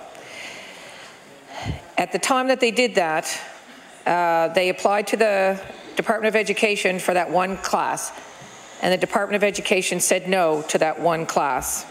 Will the Minister of Education reverse this decision and give the students from Shearwater, Cow Bay and Eastern Passage a fighting chance to secure the future that they deserve? The Honourable Minister of Education. Uh, thank you very much, Mr. Speaker. Of course, we want all of our students to succeed in this province and every one of our schools. That's why we've made the important investments we've made. That's why we've made the difficult decisions to change our administrative structure, our governance structure. So at the end of the day, each of those students in all of our schools are getting exactly what they need from our education system. Thank you very much. The Honourable Member for Cole Harbour Eastern Passage. Thank you, Mr. Speaker. As the minister knows, I spoke to him about this on Monday, on Tuesday, on Wednesday, and on Thursday. And I'm also aware that when the education bill was brought forward, that the minister stated that the goal was to give more authority and autonomy at the local level, and specifically to the high school principals. The request of 16 students was for one class. The high school isn't even finished being built yet. I would maintain that the time to consider building capacity for the skills trades program would be now before the construction is completed. So I'm wondering if the minister will consider meeting with the principal of the high school to discuss this issue and if the department has any intention of allowing the grade 10 skills trade program to ever be offered at the school, would he not concede that now would be the time to do so? The Honourable Minister of Education. Thank you very much, Mr. Speaker. I'll take the member's comments under advisement. The Honourable Member for Dartmouth North. Mr. Speaker, my question is for the Minister of Community Services. The Canada Child Benefit is an important program for reducing child and family poverty. When children are removed from a home by Child Protective Services, the benefit goes with them. And when children are returned to the home, it often takes months before the benefit is restored. When I asked the minister about this in estimates, she indicated she was not aware of the issue. However, we have heard from many cases, of many cases, where frontline uh, child protection social workers say that this has happened. Mr. Speaker, is the minister concerned about this breakdown of communication between her office and the front lines? The Honourable Minister of Community Services. I want to thank the honourable member for the question. I want to assure her that we want the best outcomes for the children who come into our care, even if it's briefly, Mr. Speaker. And uh, at that time, I committed to her that we would be uh, meeting with our, our social workers as well as uh, our federal partners to make sure that that does not happen. Thank you. The Honourable Member for Dartmouth North. Thank you, uh, Mr. Speaker. Uh, uh, please thank the minister for her encouraging response. But there is a simple fix here that would uh, make a significant difference to families who are in a very vulnerable stage of reunification. The department already has a system for providing individuals with maintenance enforcement payments up front and then recovering those funds from the payer. You would think that when the, the, the groups involved are two levels of government that we could have already figured this out.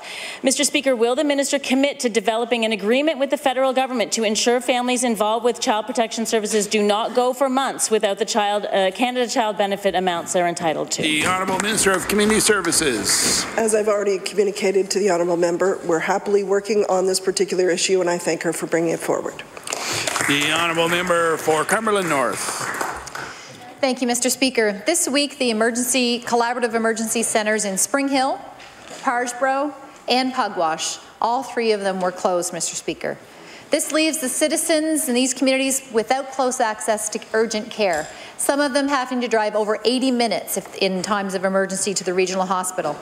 This regional hospital was not designed to serve 34,000 people. Dr. Brian Ferguson of Amherst said this week, we can't be a regional hospital for 34,000 people with only 11 emergency beds, and I'll table this document. Question to the Minister of Health is will he look at increasing the number of emergency beds and increase physician staffing resources to handle the increased patient load at the regional hospital? The Honourable Minister of Health.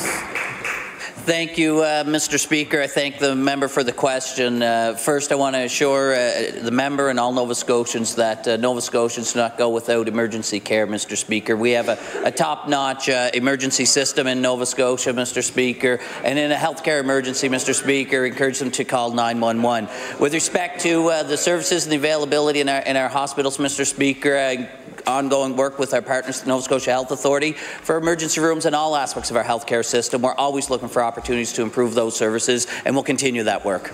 The Honourable Member for Cumberland North.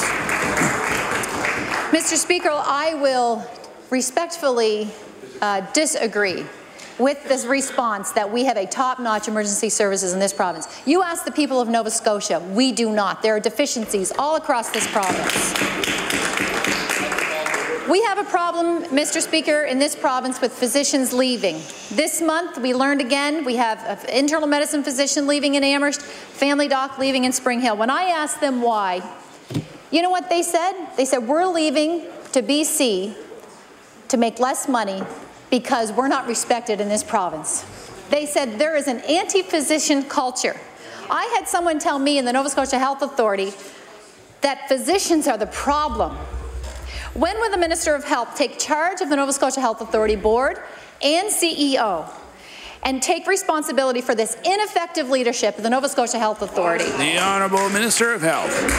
Thank you, uh, Mr. Speaker, and I, I, thank the member for highlighting the fact that Nova Scotia indeed doesn't have the lowest paid physicians in the country. Uh, based upon the information she just brought to the floor, Mr. Speaker, we continue to work with Doctors Nova Scotia and our, our other partners in the healthcare system uh, to uh, provide the services, to increase uh, access to primary care. We know that there needs to be more work to be done, Mr. Speaker, and that's why we announced almost uh, $40 million going towards physician, uh, physician compensation, Mr. Speaker, to encourage them to provide uh, primary care, to be there for Nova Scotians. We know there's more work to be done, and that's why we're continuing to work with our partners, Mr. Speaker. The honourable member for Northside Westmount.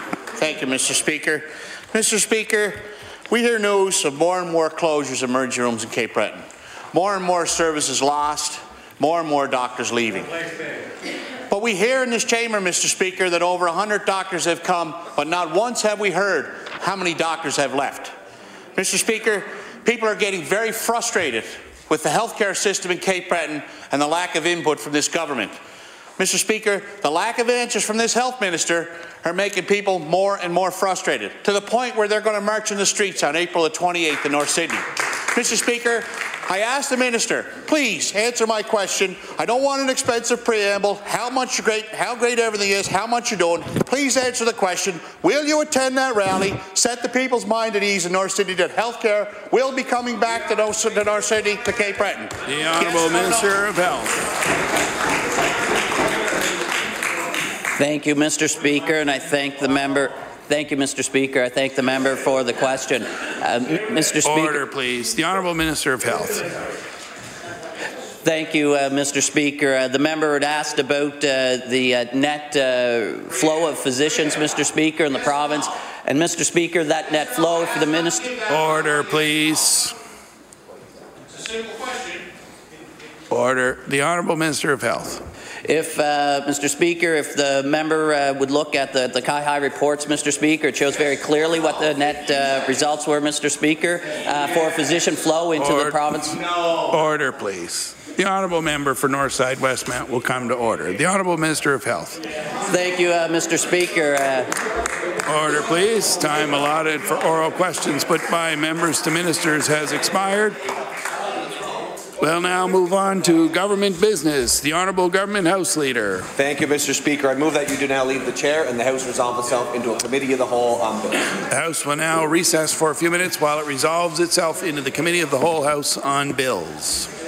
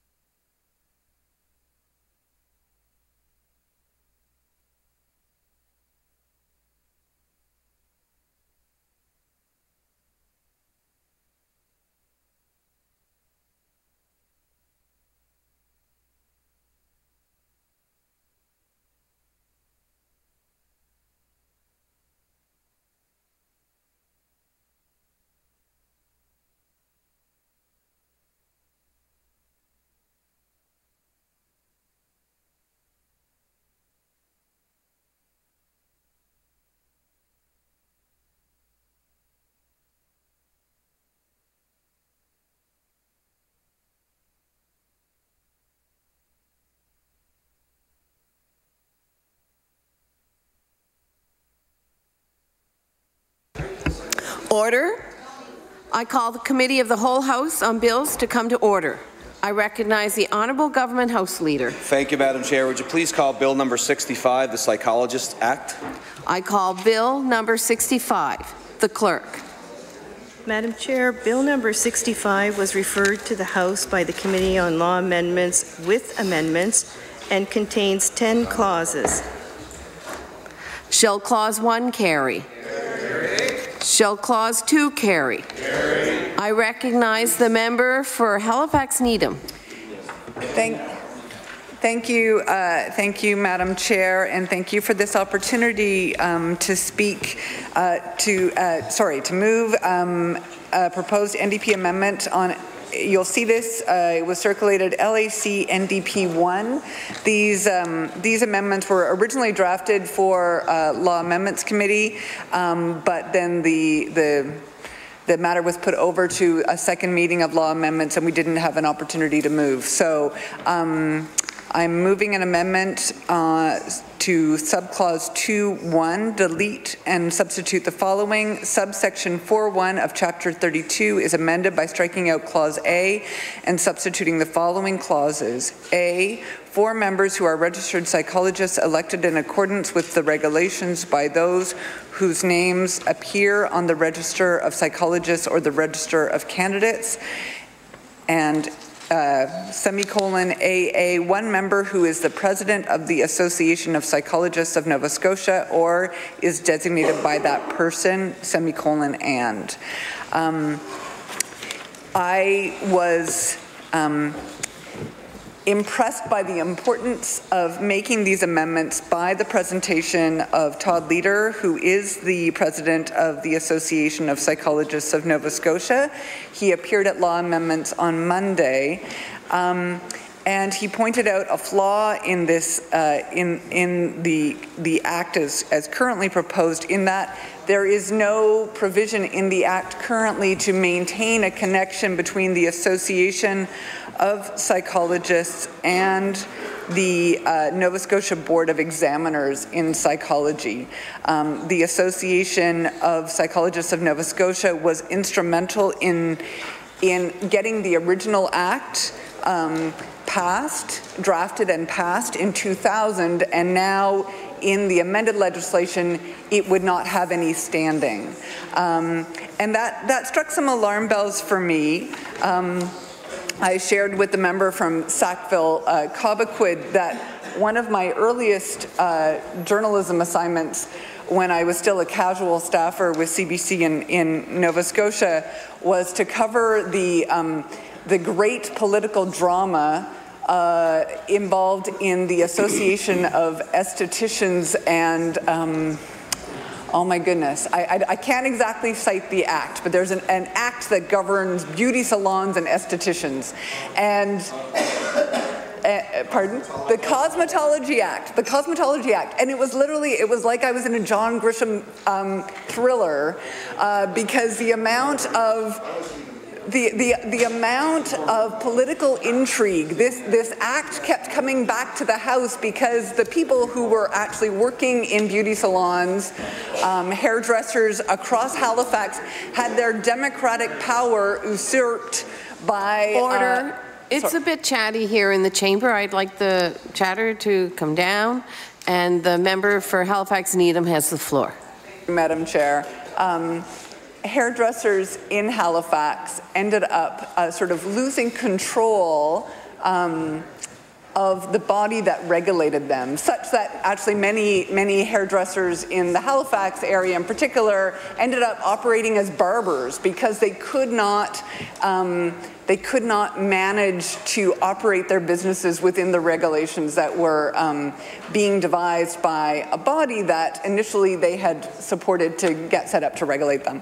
Anyhow, I don't know that the situation is exactly analogous, but I, I do feel compelled um, to, to urge members to support this amendment, and, and particularly given that um, at law amendments on Monday when, when Todd Leader um, appeared, he, uh, his, his submission uh, was not made available to members. And, and I do have a copy of that submission, which I will table. And, and in fact, the way that, um, and, and this may have been an error on, on his part, um, but the way that uh, he attempted to make that submission was through a letter to the Nova Scotia Board of Examiners in psychology. And the last line of his letter of February 27, 2018 was, thank you for the opportunity to provide this input and to have this original letter included as part of your submission to government. But at the law amendments table, we received the submission from uh, the Nova Scotia Board of Examiners of Psychology without that original letter attached. And so the members of the committee did not have the benefit of that advice. And particularly in, uh, you know, in general, um, he writes that the APNS accepts the proposal to have the, the, Nova Scotia Board of Examiners take over its own election process in accordance with established fair and transparent procedures. Um, it has some concerns about some other um, elements of this amended legislation. Um, and, and, and, he says, we would therefore only be supportive of this amendment if APNS is to be a full collaborating partner in the process of creating the appropriate and fair wording at all stages of this regulatory change.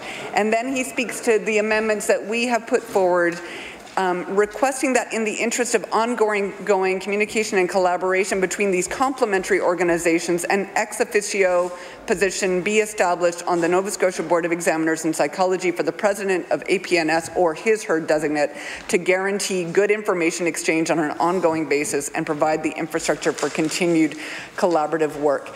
Um, Madam Chair, democracy happens at many different levels in our society and including within organizations and regulatory bodies that um, are, are set up by professional uh, organizations, and I think it is important that we consider these amendments to ensure that uh, good democratic process happen within um, within the governance of the uh, of psychologists. So thank you very much, Madam Speaker. Can you table that document? Table both of those letters. Thank you. Shall the amendment carry? No. The amendment does not carry. Shall clauses three, shall clause two carry? carry? Shall, shall clause three to 10, the remaining clause, carry? Shall the title carry? Shall the bill carry? The bill is carried.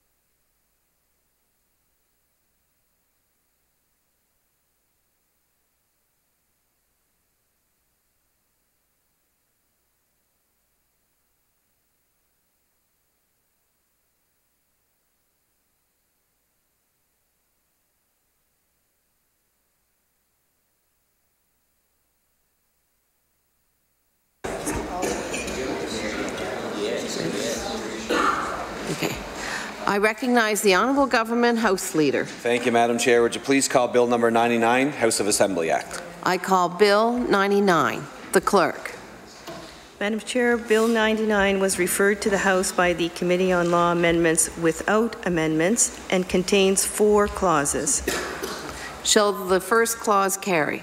Carry. Shall clause 2 carry? Carry.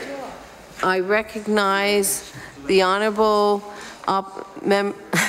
Government House Leader for the official opposition. Thank you. I'm reading this one as page two, clause one, proposed clause 5B. Okay. Was a clause one, okay. It's ours. Okay.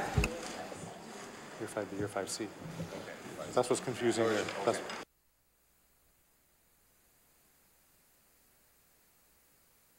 Excuse me, we'll go back to clause 1, sorry.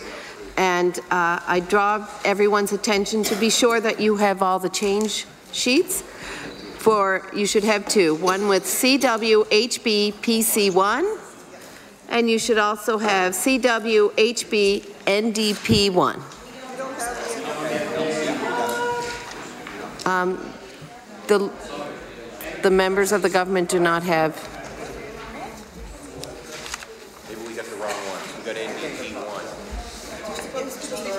there's two, there's two. There's CWHB PC1. There is CWHB NDP1.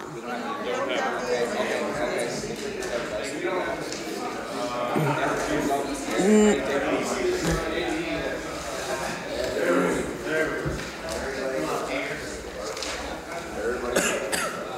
Okay. We will be referring to CWHB PC1.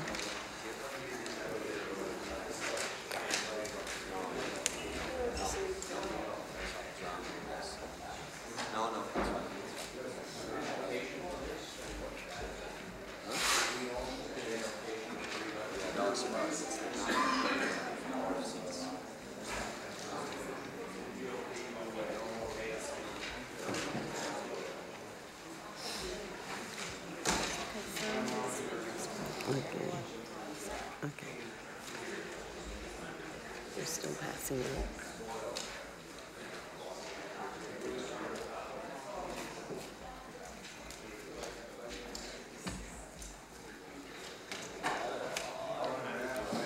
I would like confirmation that all members have received the two change sheets.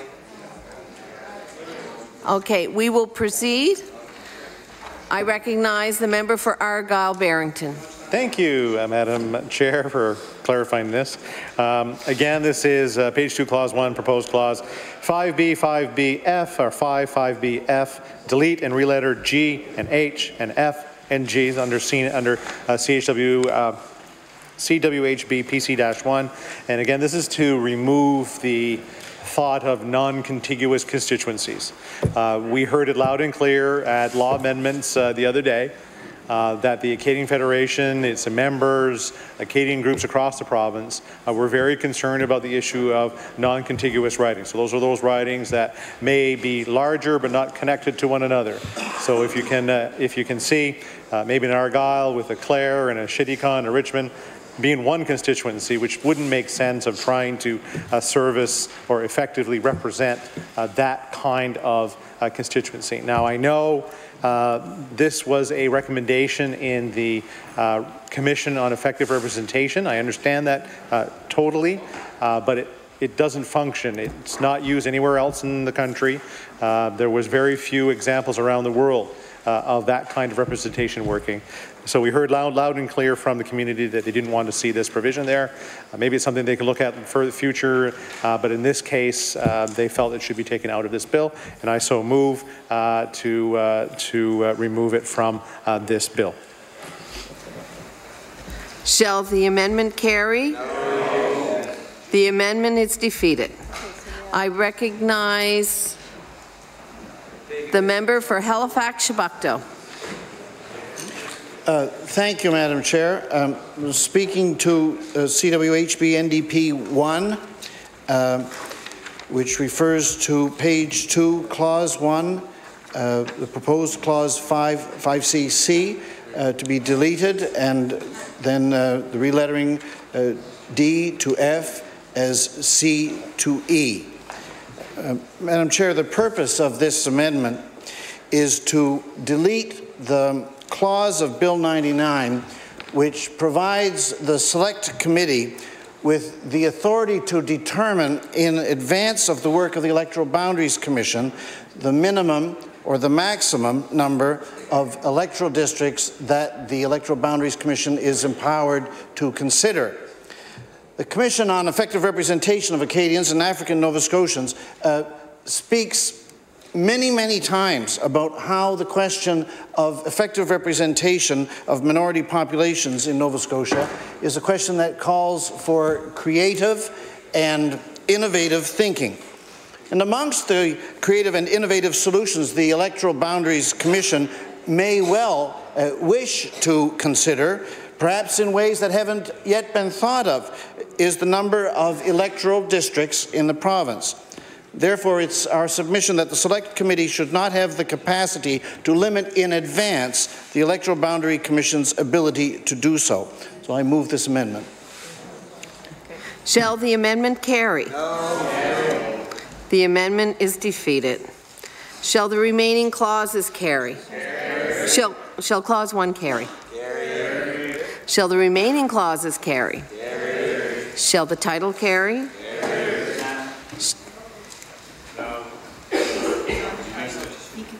You can.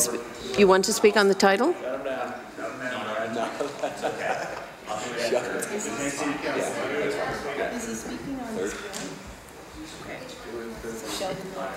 Shall the bill carry? carry? The bill is carried.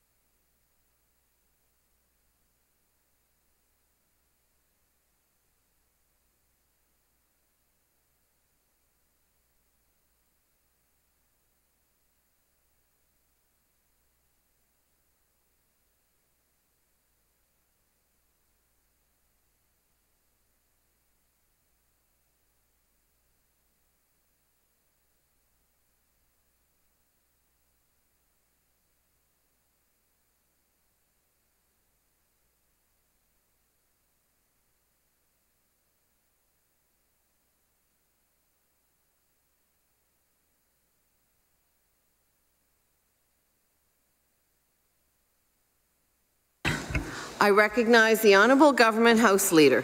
Thank you, Madam Chair. Would you please call Bill number 107, Labour Standards Code? I call Bill 107. The Clerk. Madam Chair, Bill 107 was referred to the House from the Committee on Law Amendments with amendments and contains nine clauses. Shall Clause 1 carry? Carry. Shall Clause 2 to 5 carry? Carry. Shall Clause 6 carry? I recognize the honourable member for Cape Breton Centre. Thank you, Madam Chair. And I refer the House to CWHB NDP-1. We are proposing the following, page 4, clause 6, proposed section 60Z. Add the following subsection immediately after subsection 1. Number 2, notwithstanding subsection 1 and clause 60ZA 1A. A, the first five days of a leave of absence taken under this section must be paid work days, and B, the employer shall continue to maintain a benefit plan in which the employee participated prior to the commencement of a leave of absence under this section, and the employee shall continue to pay the same share of the cost of the benefit plan as the employee did paid prior to the commencement of the leave. Madam Chair, I would just like to reiterate again my comments that um, while we do appreciate the government moving this um, legislation through to allow victims of domestic violence to have paid or to have time off, we do want to reiterate the importance of that time being paid, and I so do move. Okay. Shall the amendment carry? No. Oh, sorry, uh, sorry. Um, I recognize the member for Argyle Barrington. Oh, North, north side, Westmount, Use sorry. the same tailor, we don't look alike. Thank you, Madam Chair. And Madam Chair, the, uh, the intent of this bill, Madam Chair, is, is good. Uh, the idea that someone who is uh, involved in a domestic violence to get some time off, to get their affairs in order, to get out of the situation, to deal with legal or medical appointments, to deal with this is a great idea. What we heard, though, Madam Chair, was that the fact of the matter is a lot of the people who are in a domestic violence situation are in low-paying jobs or jobs that they can't really afford to take that time off without some kind of financial reimbursement. Uh, the first five days, Madam Chair, uh, we heard the government in law amendments think that they're going to consider it. Uh, the fact that five days may not be the number, maybe it's two days to start, maybe it's some other time to start, but the fact that it's been here and we can look at somehow making the, and allowing the government or allowing the business people to apply to the government for reimbursement of those fees. From what we've heard, it's about a million dollars if everybody who applied or had domestic assault against them last year applied for this would cost about a million dollars. In a $9 billion budget, that doesn't seem like a lot of money. So we're truly worried about the workers and domestic violence in this province. This is not a bad amendment to, to accept, Madam Chair. Thank you. Okay, so anyone else? Anyone else? Okay. Shall the amendment carry? The amendment is defeated. Shall clause 6 carry? carry. Shall the remaining clauses carry? carry. Shall the title carry? Shall the bill carry? The bill is carried.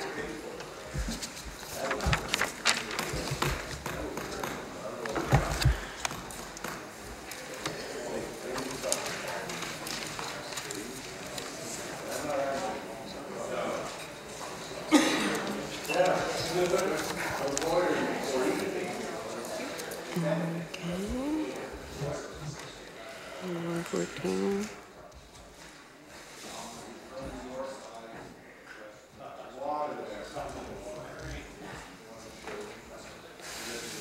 Do we have any, any changes in this one? Okay. Pardon? Do- Yes. I recognize the Honourable Government House Leader. Thank you, Madam Chair. Would you please call Bill number 114, Gaelic College Foundation Act? I call Bill 114. The clerk. Madam Chair, Bill number 114 was referred to the House by the Committee on Law Amendments without amendments and contains 21 clauses. Shall clause 1 carry? carry. Shall the remaining clauses carry? carry. Shall the title carry? Shall the bill carry? The bill is carried.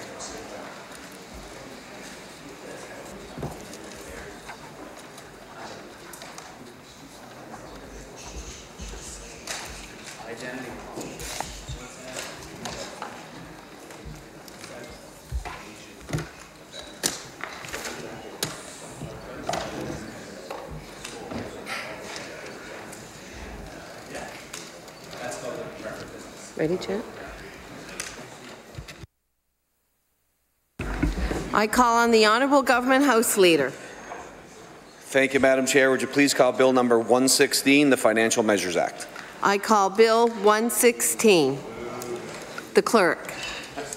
Madam Chair, Bill number 116 was referred to the House by the Committee on Law Amendments without amendments and contains 68 clauses. Shall Clause 1 carry? Carry. Shall the remaining clauses carry? Carry. Shall the title carry? Carry. Shall the bill carry? carry? The bill is carried.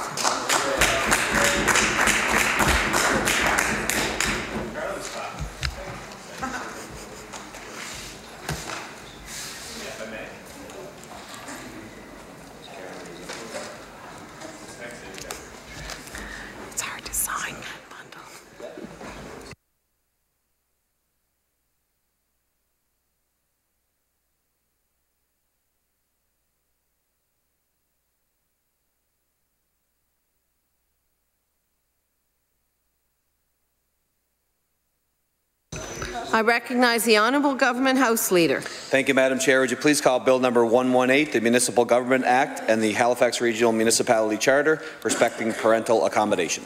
I call Bill 118. The clerk. Madam Chair, Bill 118 was referred to the House by the Committee on Law Amendments without amendments and contains 12 clauses. Shall Clause 1 carry? Yes. Shall the remaining clauses carry? Yes. Shall the title carry? Shall the bill carry? The bill is carried.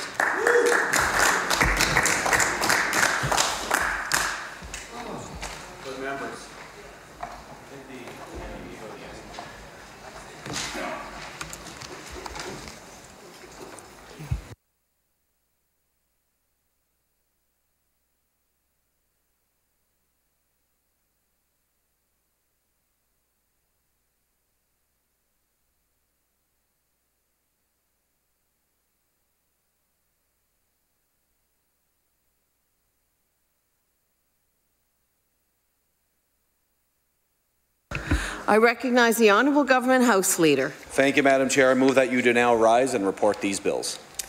The motion is carried. The committee will now rise and report its business to the House.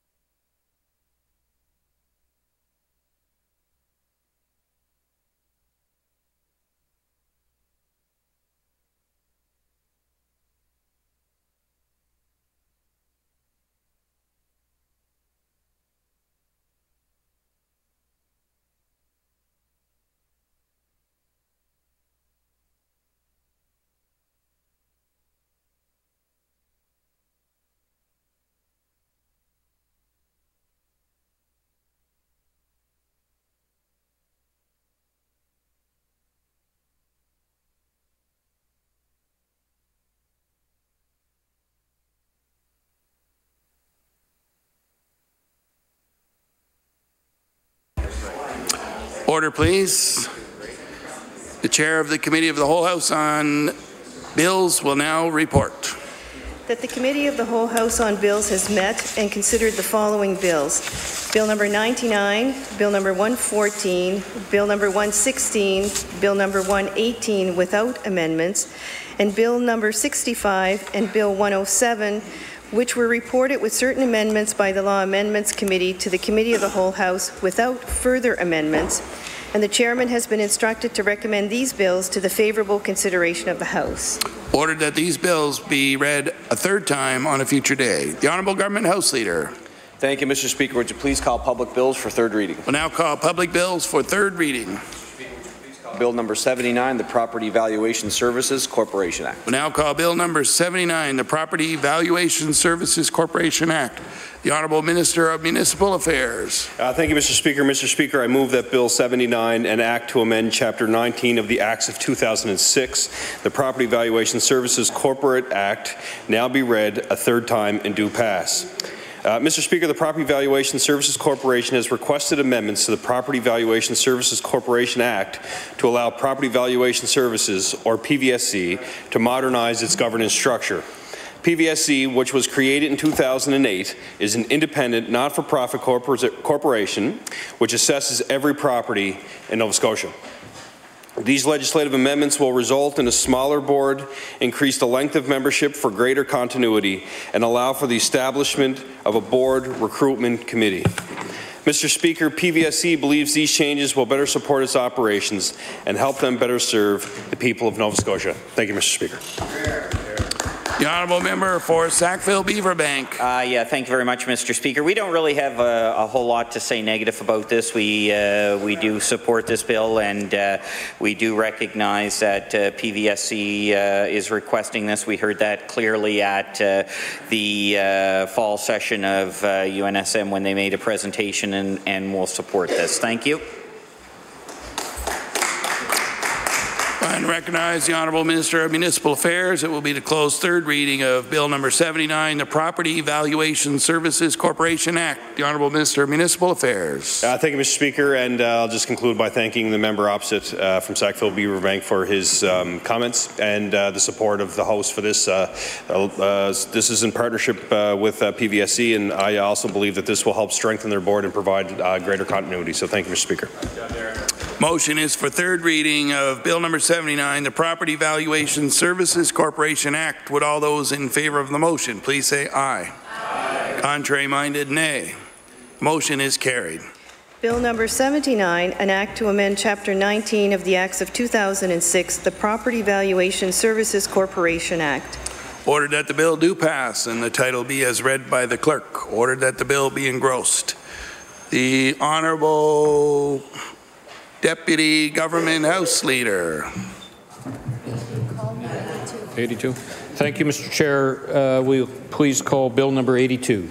We'll now call Bill number 82, the Halifax Regional Municipality Charter respecting a district energy system. The Honourable Minister of Municipal Affairs. Uh, thank you, Mr. Speaker. Mr. Speaker, I move that Bill 82 uh, be now read a third time and do pass. Uh, Mr. Speaker, I'd like to say again that the government is bringing these charter amendments forward at the request of the Halifax Regional Municipality to allow for a mandatory hookup to a district energy system in the Cogswell redevelopment area. Uh, HRM is contemplating creating a system that uses waste energy in the form of steam from Halifax Water's nearby wastewater facility. These systems can supply heating and cooling to multiple buildings from either a centralized plant or several interconnected and distributed plants. The district energy system in Cogswell is projected to lead to a decrease in greenhouse gas emissions by using waste energy to generate heat and cooling for buildings. Mr. Speaker, the district energy system can be found in Nova Scotia, across Canada, and internationally, and are generally successful in areas of high density. These changes reflect the strategic priorities for healthy, livable communities and social development and support the community energy plan. Thank you, Mr. Speaker. The honourable member for Sackville Beaverbank. Uh, yeah, thank you very much, Mr. Speaker, and uh, the PC caucus will be supporting uh, this one as well. I do want to state for the record, though, that uh, during law amendments there was an amendment brought forward. Uh, of course, the uh, the Halifax uh, Water Commission will be responsible in this case for administering the bills as well as uh, uh, looking after most of this project. And uh, we, our caucus did bring forward amendments during law amendments to try to uh, hold the Halifax Regional Water Commission a little bit more accountable by forcing them or at least getting them to follow similar rules that are laid out in the MGA Act that municipalities across the province have to follow. And uh, that is to have their uh, regular board meetings in general public. Unfortunately, uh, that amendment did not pass through law amendments, and uh, I do want to state for the record that uh, that's unfortunate. We, uh, as a caucus, do feel that public accountability is important, and we would have liked to have seen that gone forward, and uh, we're sorry that that's not. But other than that, we do recognize that this is a unique and uh, unique initiative, and I certainly want to take an opportunity to thank the HRM solicitor, John Traves, who did come forward to law amendments and did uh, talk about this and uh, certainly highlighted some of the benefits to this. And um, I, I, felt that uh, him coming was very advantageous to law amendments, and it was a pleasure to hear what he had to say. So, uh, with that, we will be supporting this. Thank you. The Honourable House Leader for the New Democratic Party. Thank you. Thank you, Mr. Speaker. Uh, we too uh, support uh, this uh, this piece of legislation, uh, Mr. Speaker. It's important that uh, we have an opportunity within our province, especially in HRM, for development to use a district energy kind of system, Mr. Speaker. And I know this amendment to the municipal charter is dealing with. Uh, dealing with one, uh, one project specifically around the Cogswell interchange. Um, we hope that this opportunity uh, for other projects will be the norm, and uh, if there's a way of ensuring the municipalities can do that without having to come to uh, the floor of this legislature uh, to change the uh, the charter, then maybe that's an option sh we should be looking at. I, I want to concur with the uh, the comments from the previous speaker. One of the uh, one of the top issues in my office when it comes to municipal issues uh, dealing with is dealing with the Water Commission and the concern that residents have about really not having a say, not knowing what's going on. Uh, so there needs to be work on there, and I hope the Minister uh, of uh, Municipal Affairs recognizes that, uh, that uh, we've, for a number of years now, have left it up to the municipality to try to uh, deal with this. at times, the municipality says it's the province that has to mandate it. The province says, no, the municipality can do it. Uh, there needs to be some leadership on it, and uh, I think the province needs to show that leadership, Mr. Speaker. So we do support uh, Bill uh, 82. I recognize the Honourable Minister of Municipal Affairs will be to close third reading of Bill number 82, the Halifax Regional Municipality Charter respecting a district energy system. The Honourable Minister of Municipal Affairs. Uh, thank you, Mr. Speaker. Thank both my colleagues for their comments. Uh, I'll just conclude by saying that we we want there, this has been a, a, discussion that we were having. We had a bit during estimates in regards to the process of continuously coming back to the legislature looking for approval. So that's something that we're working on as we revise not only the uh, HRM charter, but we look at other charters for the CBRM across and across um, all the municipal units. Yeah. So, Mr. So, Mr. Speaker. Uh, thank, thanks uh, to all the work involved with this file uh, uh and this uh, legislation, and thanks to both of my colleagues for their comments. The motion is for third reading of Bill number 82, the Halifax Regional Municipality Charter respecting a district energy system. Would all those in favour of the motion please say aye. aye. Contrary minded, nay. The motion is carried. Bill number 82, an act to amend Chapter 39 of the Acts of 2008, the Halifax Regional Municipality Charter, respecting a district energy system. Ordered that the bill do pass and the title be as read by the clerk. Ordered that the bill be engrossed. The Honourable Government House Leader. Thank you, Mr. Speaker. Would you please call Bill number 84, Halifax Regional Municipality Charter, respecting bonus zoning. We'll now call Bill number 84, the Halifax Regional Municipality Charter, respecting bonus zoning. The Honourable Minister of Municipal Affairs. Uh, thank you, Mr. Speaker. Mr. Speaker, I move that Bill 84, amendments to the Halifax Regional Municipality Charter respecting bonus zoning, be now read a third time and do pass. Uh, government is bringing in these charter amendments. Uh, government is bringing these charter amendments forward at the request of the Halifax Regional Municipality to allow for bonus zoning in all areas of the municipality as part of its municipal planning process. Incentive for bonus zoning is a planning tool that allows municipalities to increase the size of a development in exchange for community benefits such as sustainable buildings, affordable housing, more green space, or streetscaping improvements. Mr. Speaker, currently HRM can only use incentive or bonus zoning in designated parts of the municipality. This change will allow HRM to consider smart growth and development throughout the municipality. Currently, all other municipalities in Nova Scotia are permitted to use bonus zoning anywhere within their borders. These amendments will ensure that the Halifax Regional Municipality has the same opportunity for its citizens.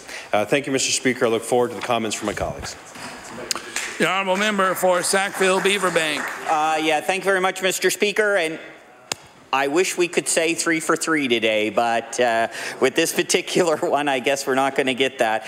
Uh, Mr. Speaker, our, uh, our caucus currently is not supporting this, and, and there's a number of reasons for it. Um, you know, I think that uh, the bonus zoning, what's being asked for here today, will trump what local or what local MPSs and bylaws already establish. And although there does have to be a public hearing uh, uh, process here, uh, council does not have to listen to that public hearing process. Uh, there's a reason why this, uh, when when uh, Halifax Regional Municipality did their regional plan and their subsequent their RP5 plan, there was a significant public consultation at that time, both those times, and there was a reason why this didn't come forward at that time. Um, you know, I have reached out recently to uh, a number of my former colleagues on council and have asked them whether or not they are familiar with this uh, request coming forward. And uh, the two that I spoke with both said that they were not. Um, so that uh, raises some concerns to me. Um, I also I, I, am concerned by uh, what the implications of this would be to uh, suburban and, and, more suburban parts of HRM than anything. as the minister did recognize this is allowed currently in the center plan and downtown areas. I think that's where it should be. Um, I also want to say that, you know, I, I have continued to hear time and again, and I use during first reading, I use this analogy of the, uh, the donkey and the carrot, and that carrot in this case being uh, affordable housing. It became very clear when the HRM solicitor uh, attended law amendments, I did come right out and ask him in what case previous case, has bonus uh, zoning ever seen an increase in affordable housing in HRM? And the answer was it never has. Um, I would highlight for members that the one time that it has recently come forward, which is uh, in a current development that's being reviewed, which is the Quinpool Road uh, uh, tower that's being reviewed there. Although the life expectancy of that tower would probably exceed 50 years, I do believe that there is only a short period of time that would be recognized that the developer would have to have affordable housing. I think it's a 10-year window there that the developer would have to to, to uh, provide a, an affordable housing uh, component. So even at that, Mr. Speaker, this is not a long-term fix to affordable housing.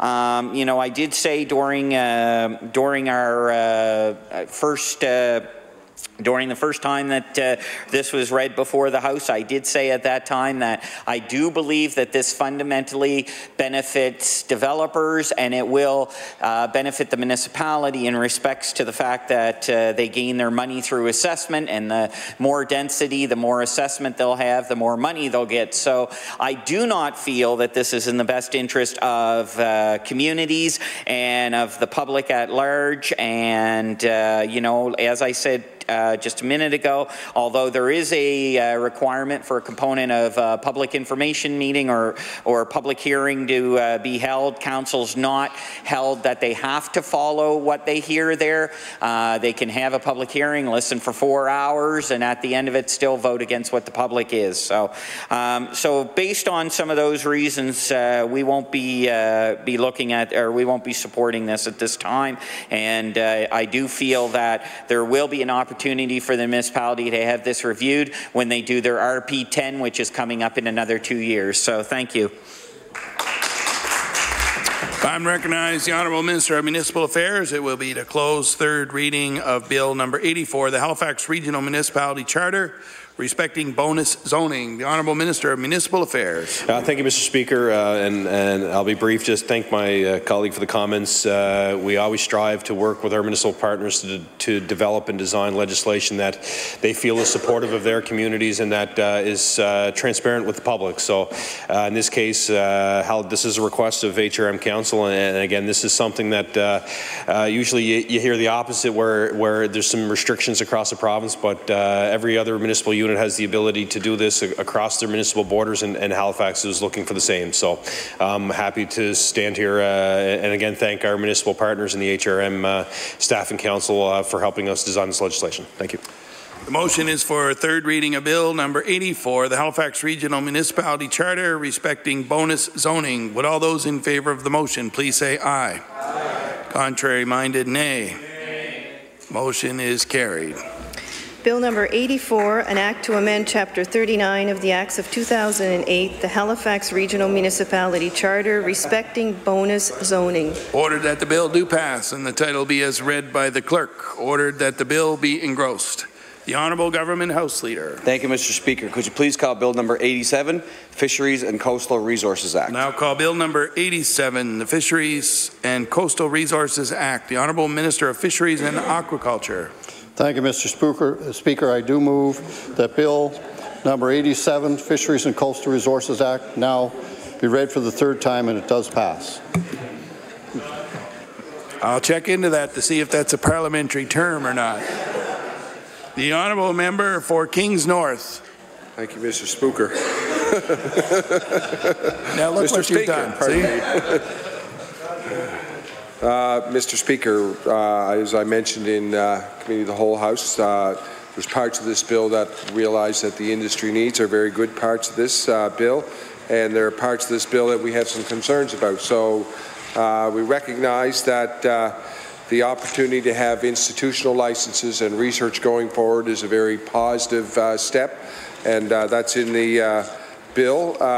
we realize that there is the amalgamation of licenses will be very helpful for the industry. It's also a positive step in this bill. We realize that the uh, clarifying the process around the 30-day appeal is a positive step in the bill. However, as I mentioned in committee of the whole House, I want to get on the record again that have very grave concerns about the amount of power this puts in the hands of the Minister of uh, Fisheries and Aquaculture in terms of being the gatekeeper on which which uh, applications go forward to the uh, Aquaculture Review Board. The Minister appoints the Aquaculture Review Board anyway. Uh, in the past, it was an administrator that, again, is appointed by the uh, uh, Minister to, uh, to make this decision.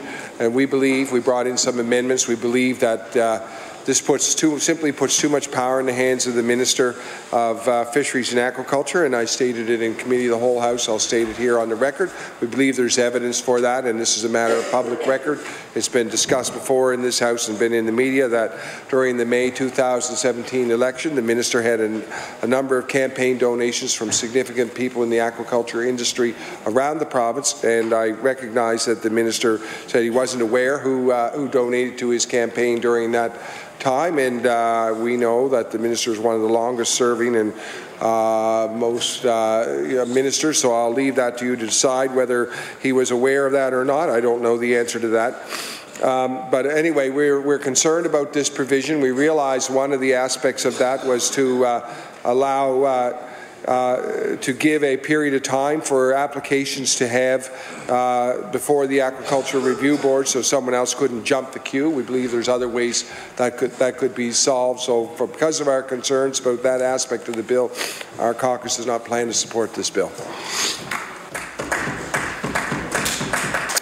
Upon recognize the Honourable Minister of Fisheries and Aquaculture, it will be to close third reading of Bill number 87, the Fisheries and Coastal Resources Act. The Honourable Minister of Fisheries and Aquaculture. Thank you, Mr. Speaker. I do move uh, Bill 87. Motion is for third reading of Bill number 87, the Fisheries and Coastal Resources Act. Would all those in favor of the motion please say aye. Aye. Contrary minded, nay. The motion is carried. Bill number 87, an act to amend Chapter 25 of the Acts of 1996, the Fisheries and Coastal Resources Act. Ordered that the bill do pass and the title be as read by the clerk. Ordered that the bill be engrossed. The Honourable Government House Leader. Thank you, Mr. Speaker. Would you please call Bill number 104, the Research Nova Scotia Corporation Act? We'll now call Bill number 104, the Research Nova Scotia Corporation Act. The Honourable Minister of Labour and Advanced Education. Mr. Speaker, I move that Bill number 104, Research Nova Scotia Corporation Act, be now read a third time and do pass. The Honourable Member for Northside Westmount. Uh, thank you, Mr. Speaker. And Mr. Speaker, the Research Nova Scotia Foundation Act is, is, probably a good thing as far as making sure that stable funding is available for certain research in the province at any given time. The only concern we have with the bill is that the Nova Scotia Health Research Foundation maintain the funding it gets because of the good work it does, what it provides to healthcare in the province, brings in people to do research in the province, keeps good doctors here to do research. Um, so we just want to make sure, and we'll be watching to make sure that the funding for research uh, in healthcare continues to be uh, there and or grow to continue the good work that the Nova Scotia Health Research Foundation is doing at the present. Thank you, Mr. Speaker. The Honourable House Leader for the New, for the New Democratic Party. Thank you, uh, Mr. Speaker. Glad to uh, stand for a moment to speak on Bill 104. Uh, I know uh, our caucus supports immensely uh, the capability of research being done here in Nova Scotia. Uh, we know how important it is for many services that Nova Scotians have, but just by the sheer spin-offs that research can provide, not only economic, but what the findings of that research does, Mr. Speaker, it's extremely important on healthcare and on many other many other fronts. And we know over the last uh, decade or so, especially on the federal level, Mr. Speaker, that uh, research and development has been uh, somewhat under attack by the federal government, uh, the previous federal government under Stephen Harper. And uh, I know that a lot of work needs to be done to repair and uh, replace some of the loss uh, capacity that we have, not only in Nova Scotia, but across, across Canada. We did try to move an amendment that would uh, support uh, and recognizing the Health Research Foundation of Nova Scotia here, uh, Mr. Speaker, and the important work that they do. Uh, I know I've turned to them many times over my career over the last uh, 15 years or so in the Nova Scotia legislature. They've always shown a professionalism not in a nonpartisan way to make sure that we were properly informed. If it was a policy we wanted to move on, if it was an initiative that we wanted to support, they were there for to support us. And and there was never a question of no, uh, you're a political party. There were no research and making sure that policy uh, is founded on, on good research uh, is, is a key. And uh, that's why we wanted to make sure that they were protected. I hope, I hope the government's genuine in, in their, uh, in their comments around the uh, Health Research Foundation here in Nova Scotia, that the funding that they've been receiving and the support that they've been receiving won't be siphoned off into other avenues and other areas, Mr. Speaker, uh, because we do not want to see that. so we do support the bill, but we are, we are concerned that uh, the viability of the Health Research Foundation uh, continues to play the important role that I just uh, outlined, Mr. Speaker. Thank you. Finally recognize the Honourable Minister of Labour and Advanced Education. It will be to close third reading of Bill number 104, the Research Nova Scotia Corporation Act. The Honourable Minister of Labour and Advanced Education. Thank you, Mr. Speaker. I'd like to thank the members for their uh, questions and feedback. Mr. Speaker, I'm in complete agreement. Nova Scotia Health Research has done tremendous work, and I look forward to the incredible work they're going to do under the new uh, research umbrella. Um, Mr. Speaker, I can uh, pass uh, through you to the House that uh, all the employees of Nova Scotia Health Research are going to be part of the new organization. Krista Connell is retiring. I want to thank her for her service. She's been incredible as the head of the organization. I've uh, got to meet her uh, before I ran for politics back in 2012, and uh, she does incredible work, and it's no surprise the member from uh, Sackville Cobequid has had a great experience with the organization. Uh, Mr. Speaker, one thing I'd also like to point out, um, this here organization is going to be receiving more funding. In the last uh, 15 months alone, $45 million extra has gone into research in the past two budgets. Uh, within this budget, the 10 million that uh, the 20 million that went in as an increase, 10 million of it is earmarked specifically for health research. And if you actually look at uh, Nova Scotia Health Research budget, I forget the exact amount. It was between, I believe, three and five million a year. That uh, money will continue, as well as the additional money when government has capacity to uh, input into research. The money is being leveraged, and uh, as the member from Sackville Cobequid mentioned, and I look forward to all the great outcomes that we will have from the research happening in the province. Thank you, Mr. Speaker. The motion is for third reading of Bill number 104, the Research Nova Scotia Corporation Act. Would all those in favour of the motion please say aye? Aye. Contrary minded, nay. The motion is carried. Bill number 104, an act to establish the Research Nova Scotia Corporation. Ordered that the bill do pass and the title be as read by the clerk. Ordered that the bill be engrossed. The Honourable Government House Leader. Thank you, Mr. Speaker. Would you please call Bill number 106, the Insurance Act? We'll now call Bill number 106, the Insurance Act. The Honourable Minister of Finance. Uh, thank you, Mr. Speaker. I move that Bill 106, the Insurance Act, be now read a third time and do pass. I would like to thank members opposite for their support for this bill when it was uh, introduced. The amendments uh, contained in Bill 106 help protect innocent and vulnerable Nova Scotians. The amendments are of particular importance to women who are disproportionately affected by domestic violence and abuse.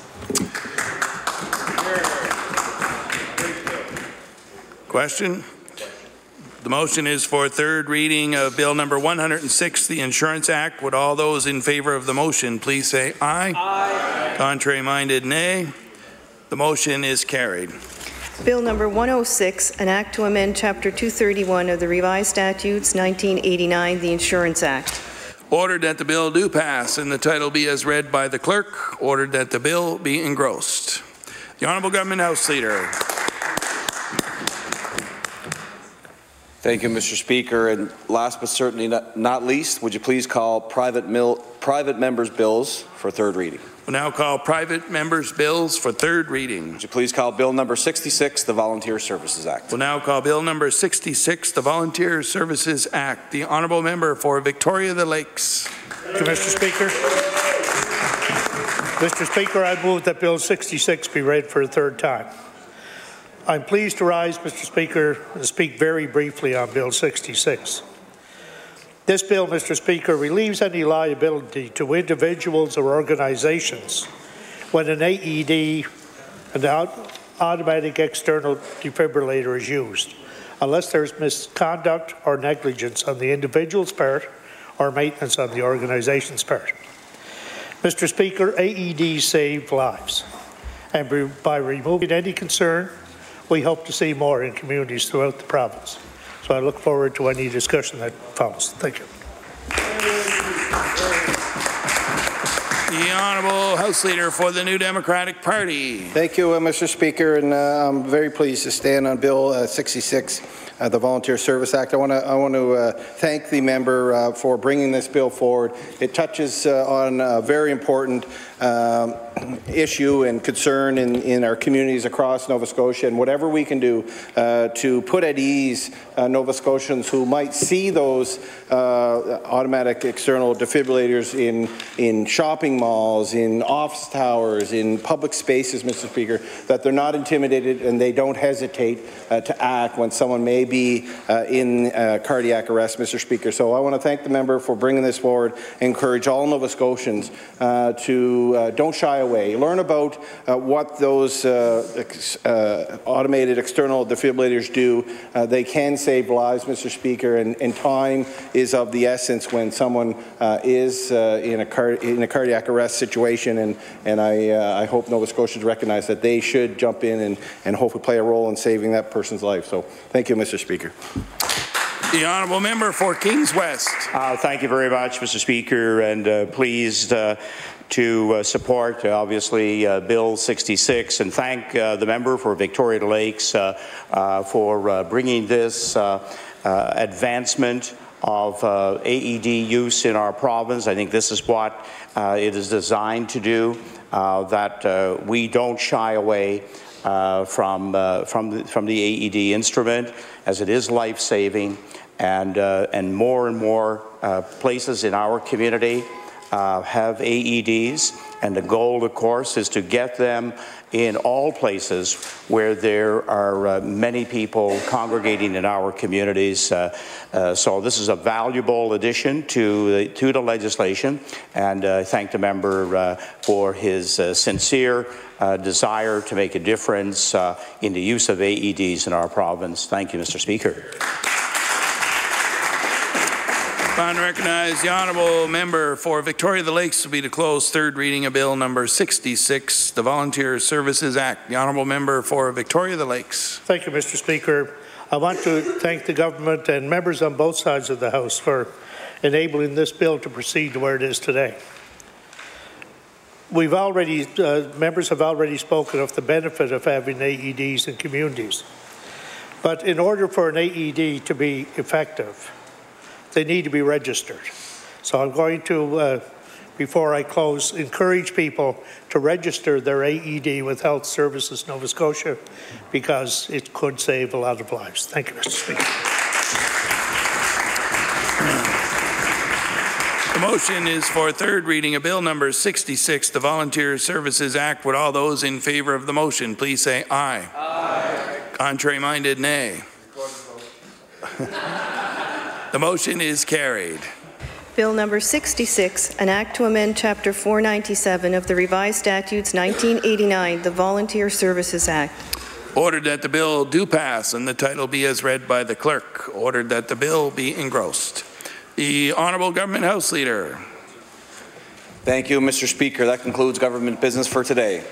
I move that the House do now rise to meet again Tuesday, April 17th, 2018, between 1 p.m. and 11.59 p.m.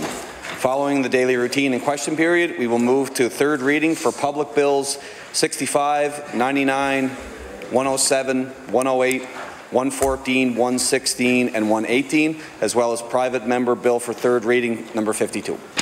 Motion is for the House to adjourn to rise again Tuesday, April 17th, between the hours of 1 p.m. and 11.59 p.m. Would all those in favor of the motion please say aye? Aye. Contrary minded, nay. The motion is carried. Uh, House now stand adjourned until Tuesday, April 17th at 1 p.m.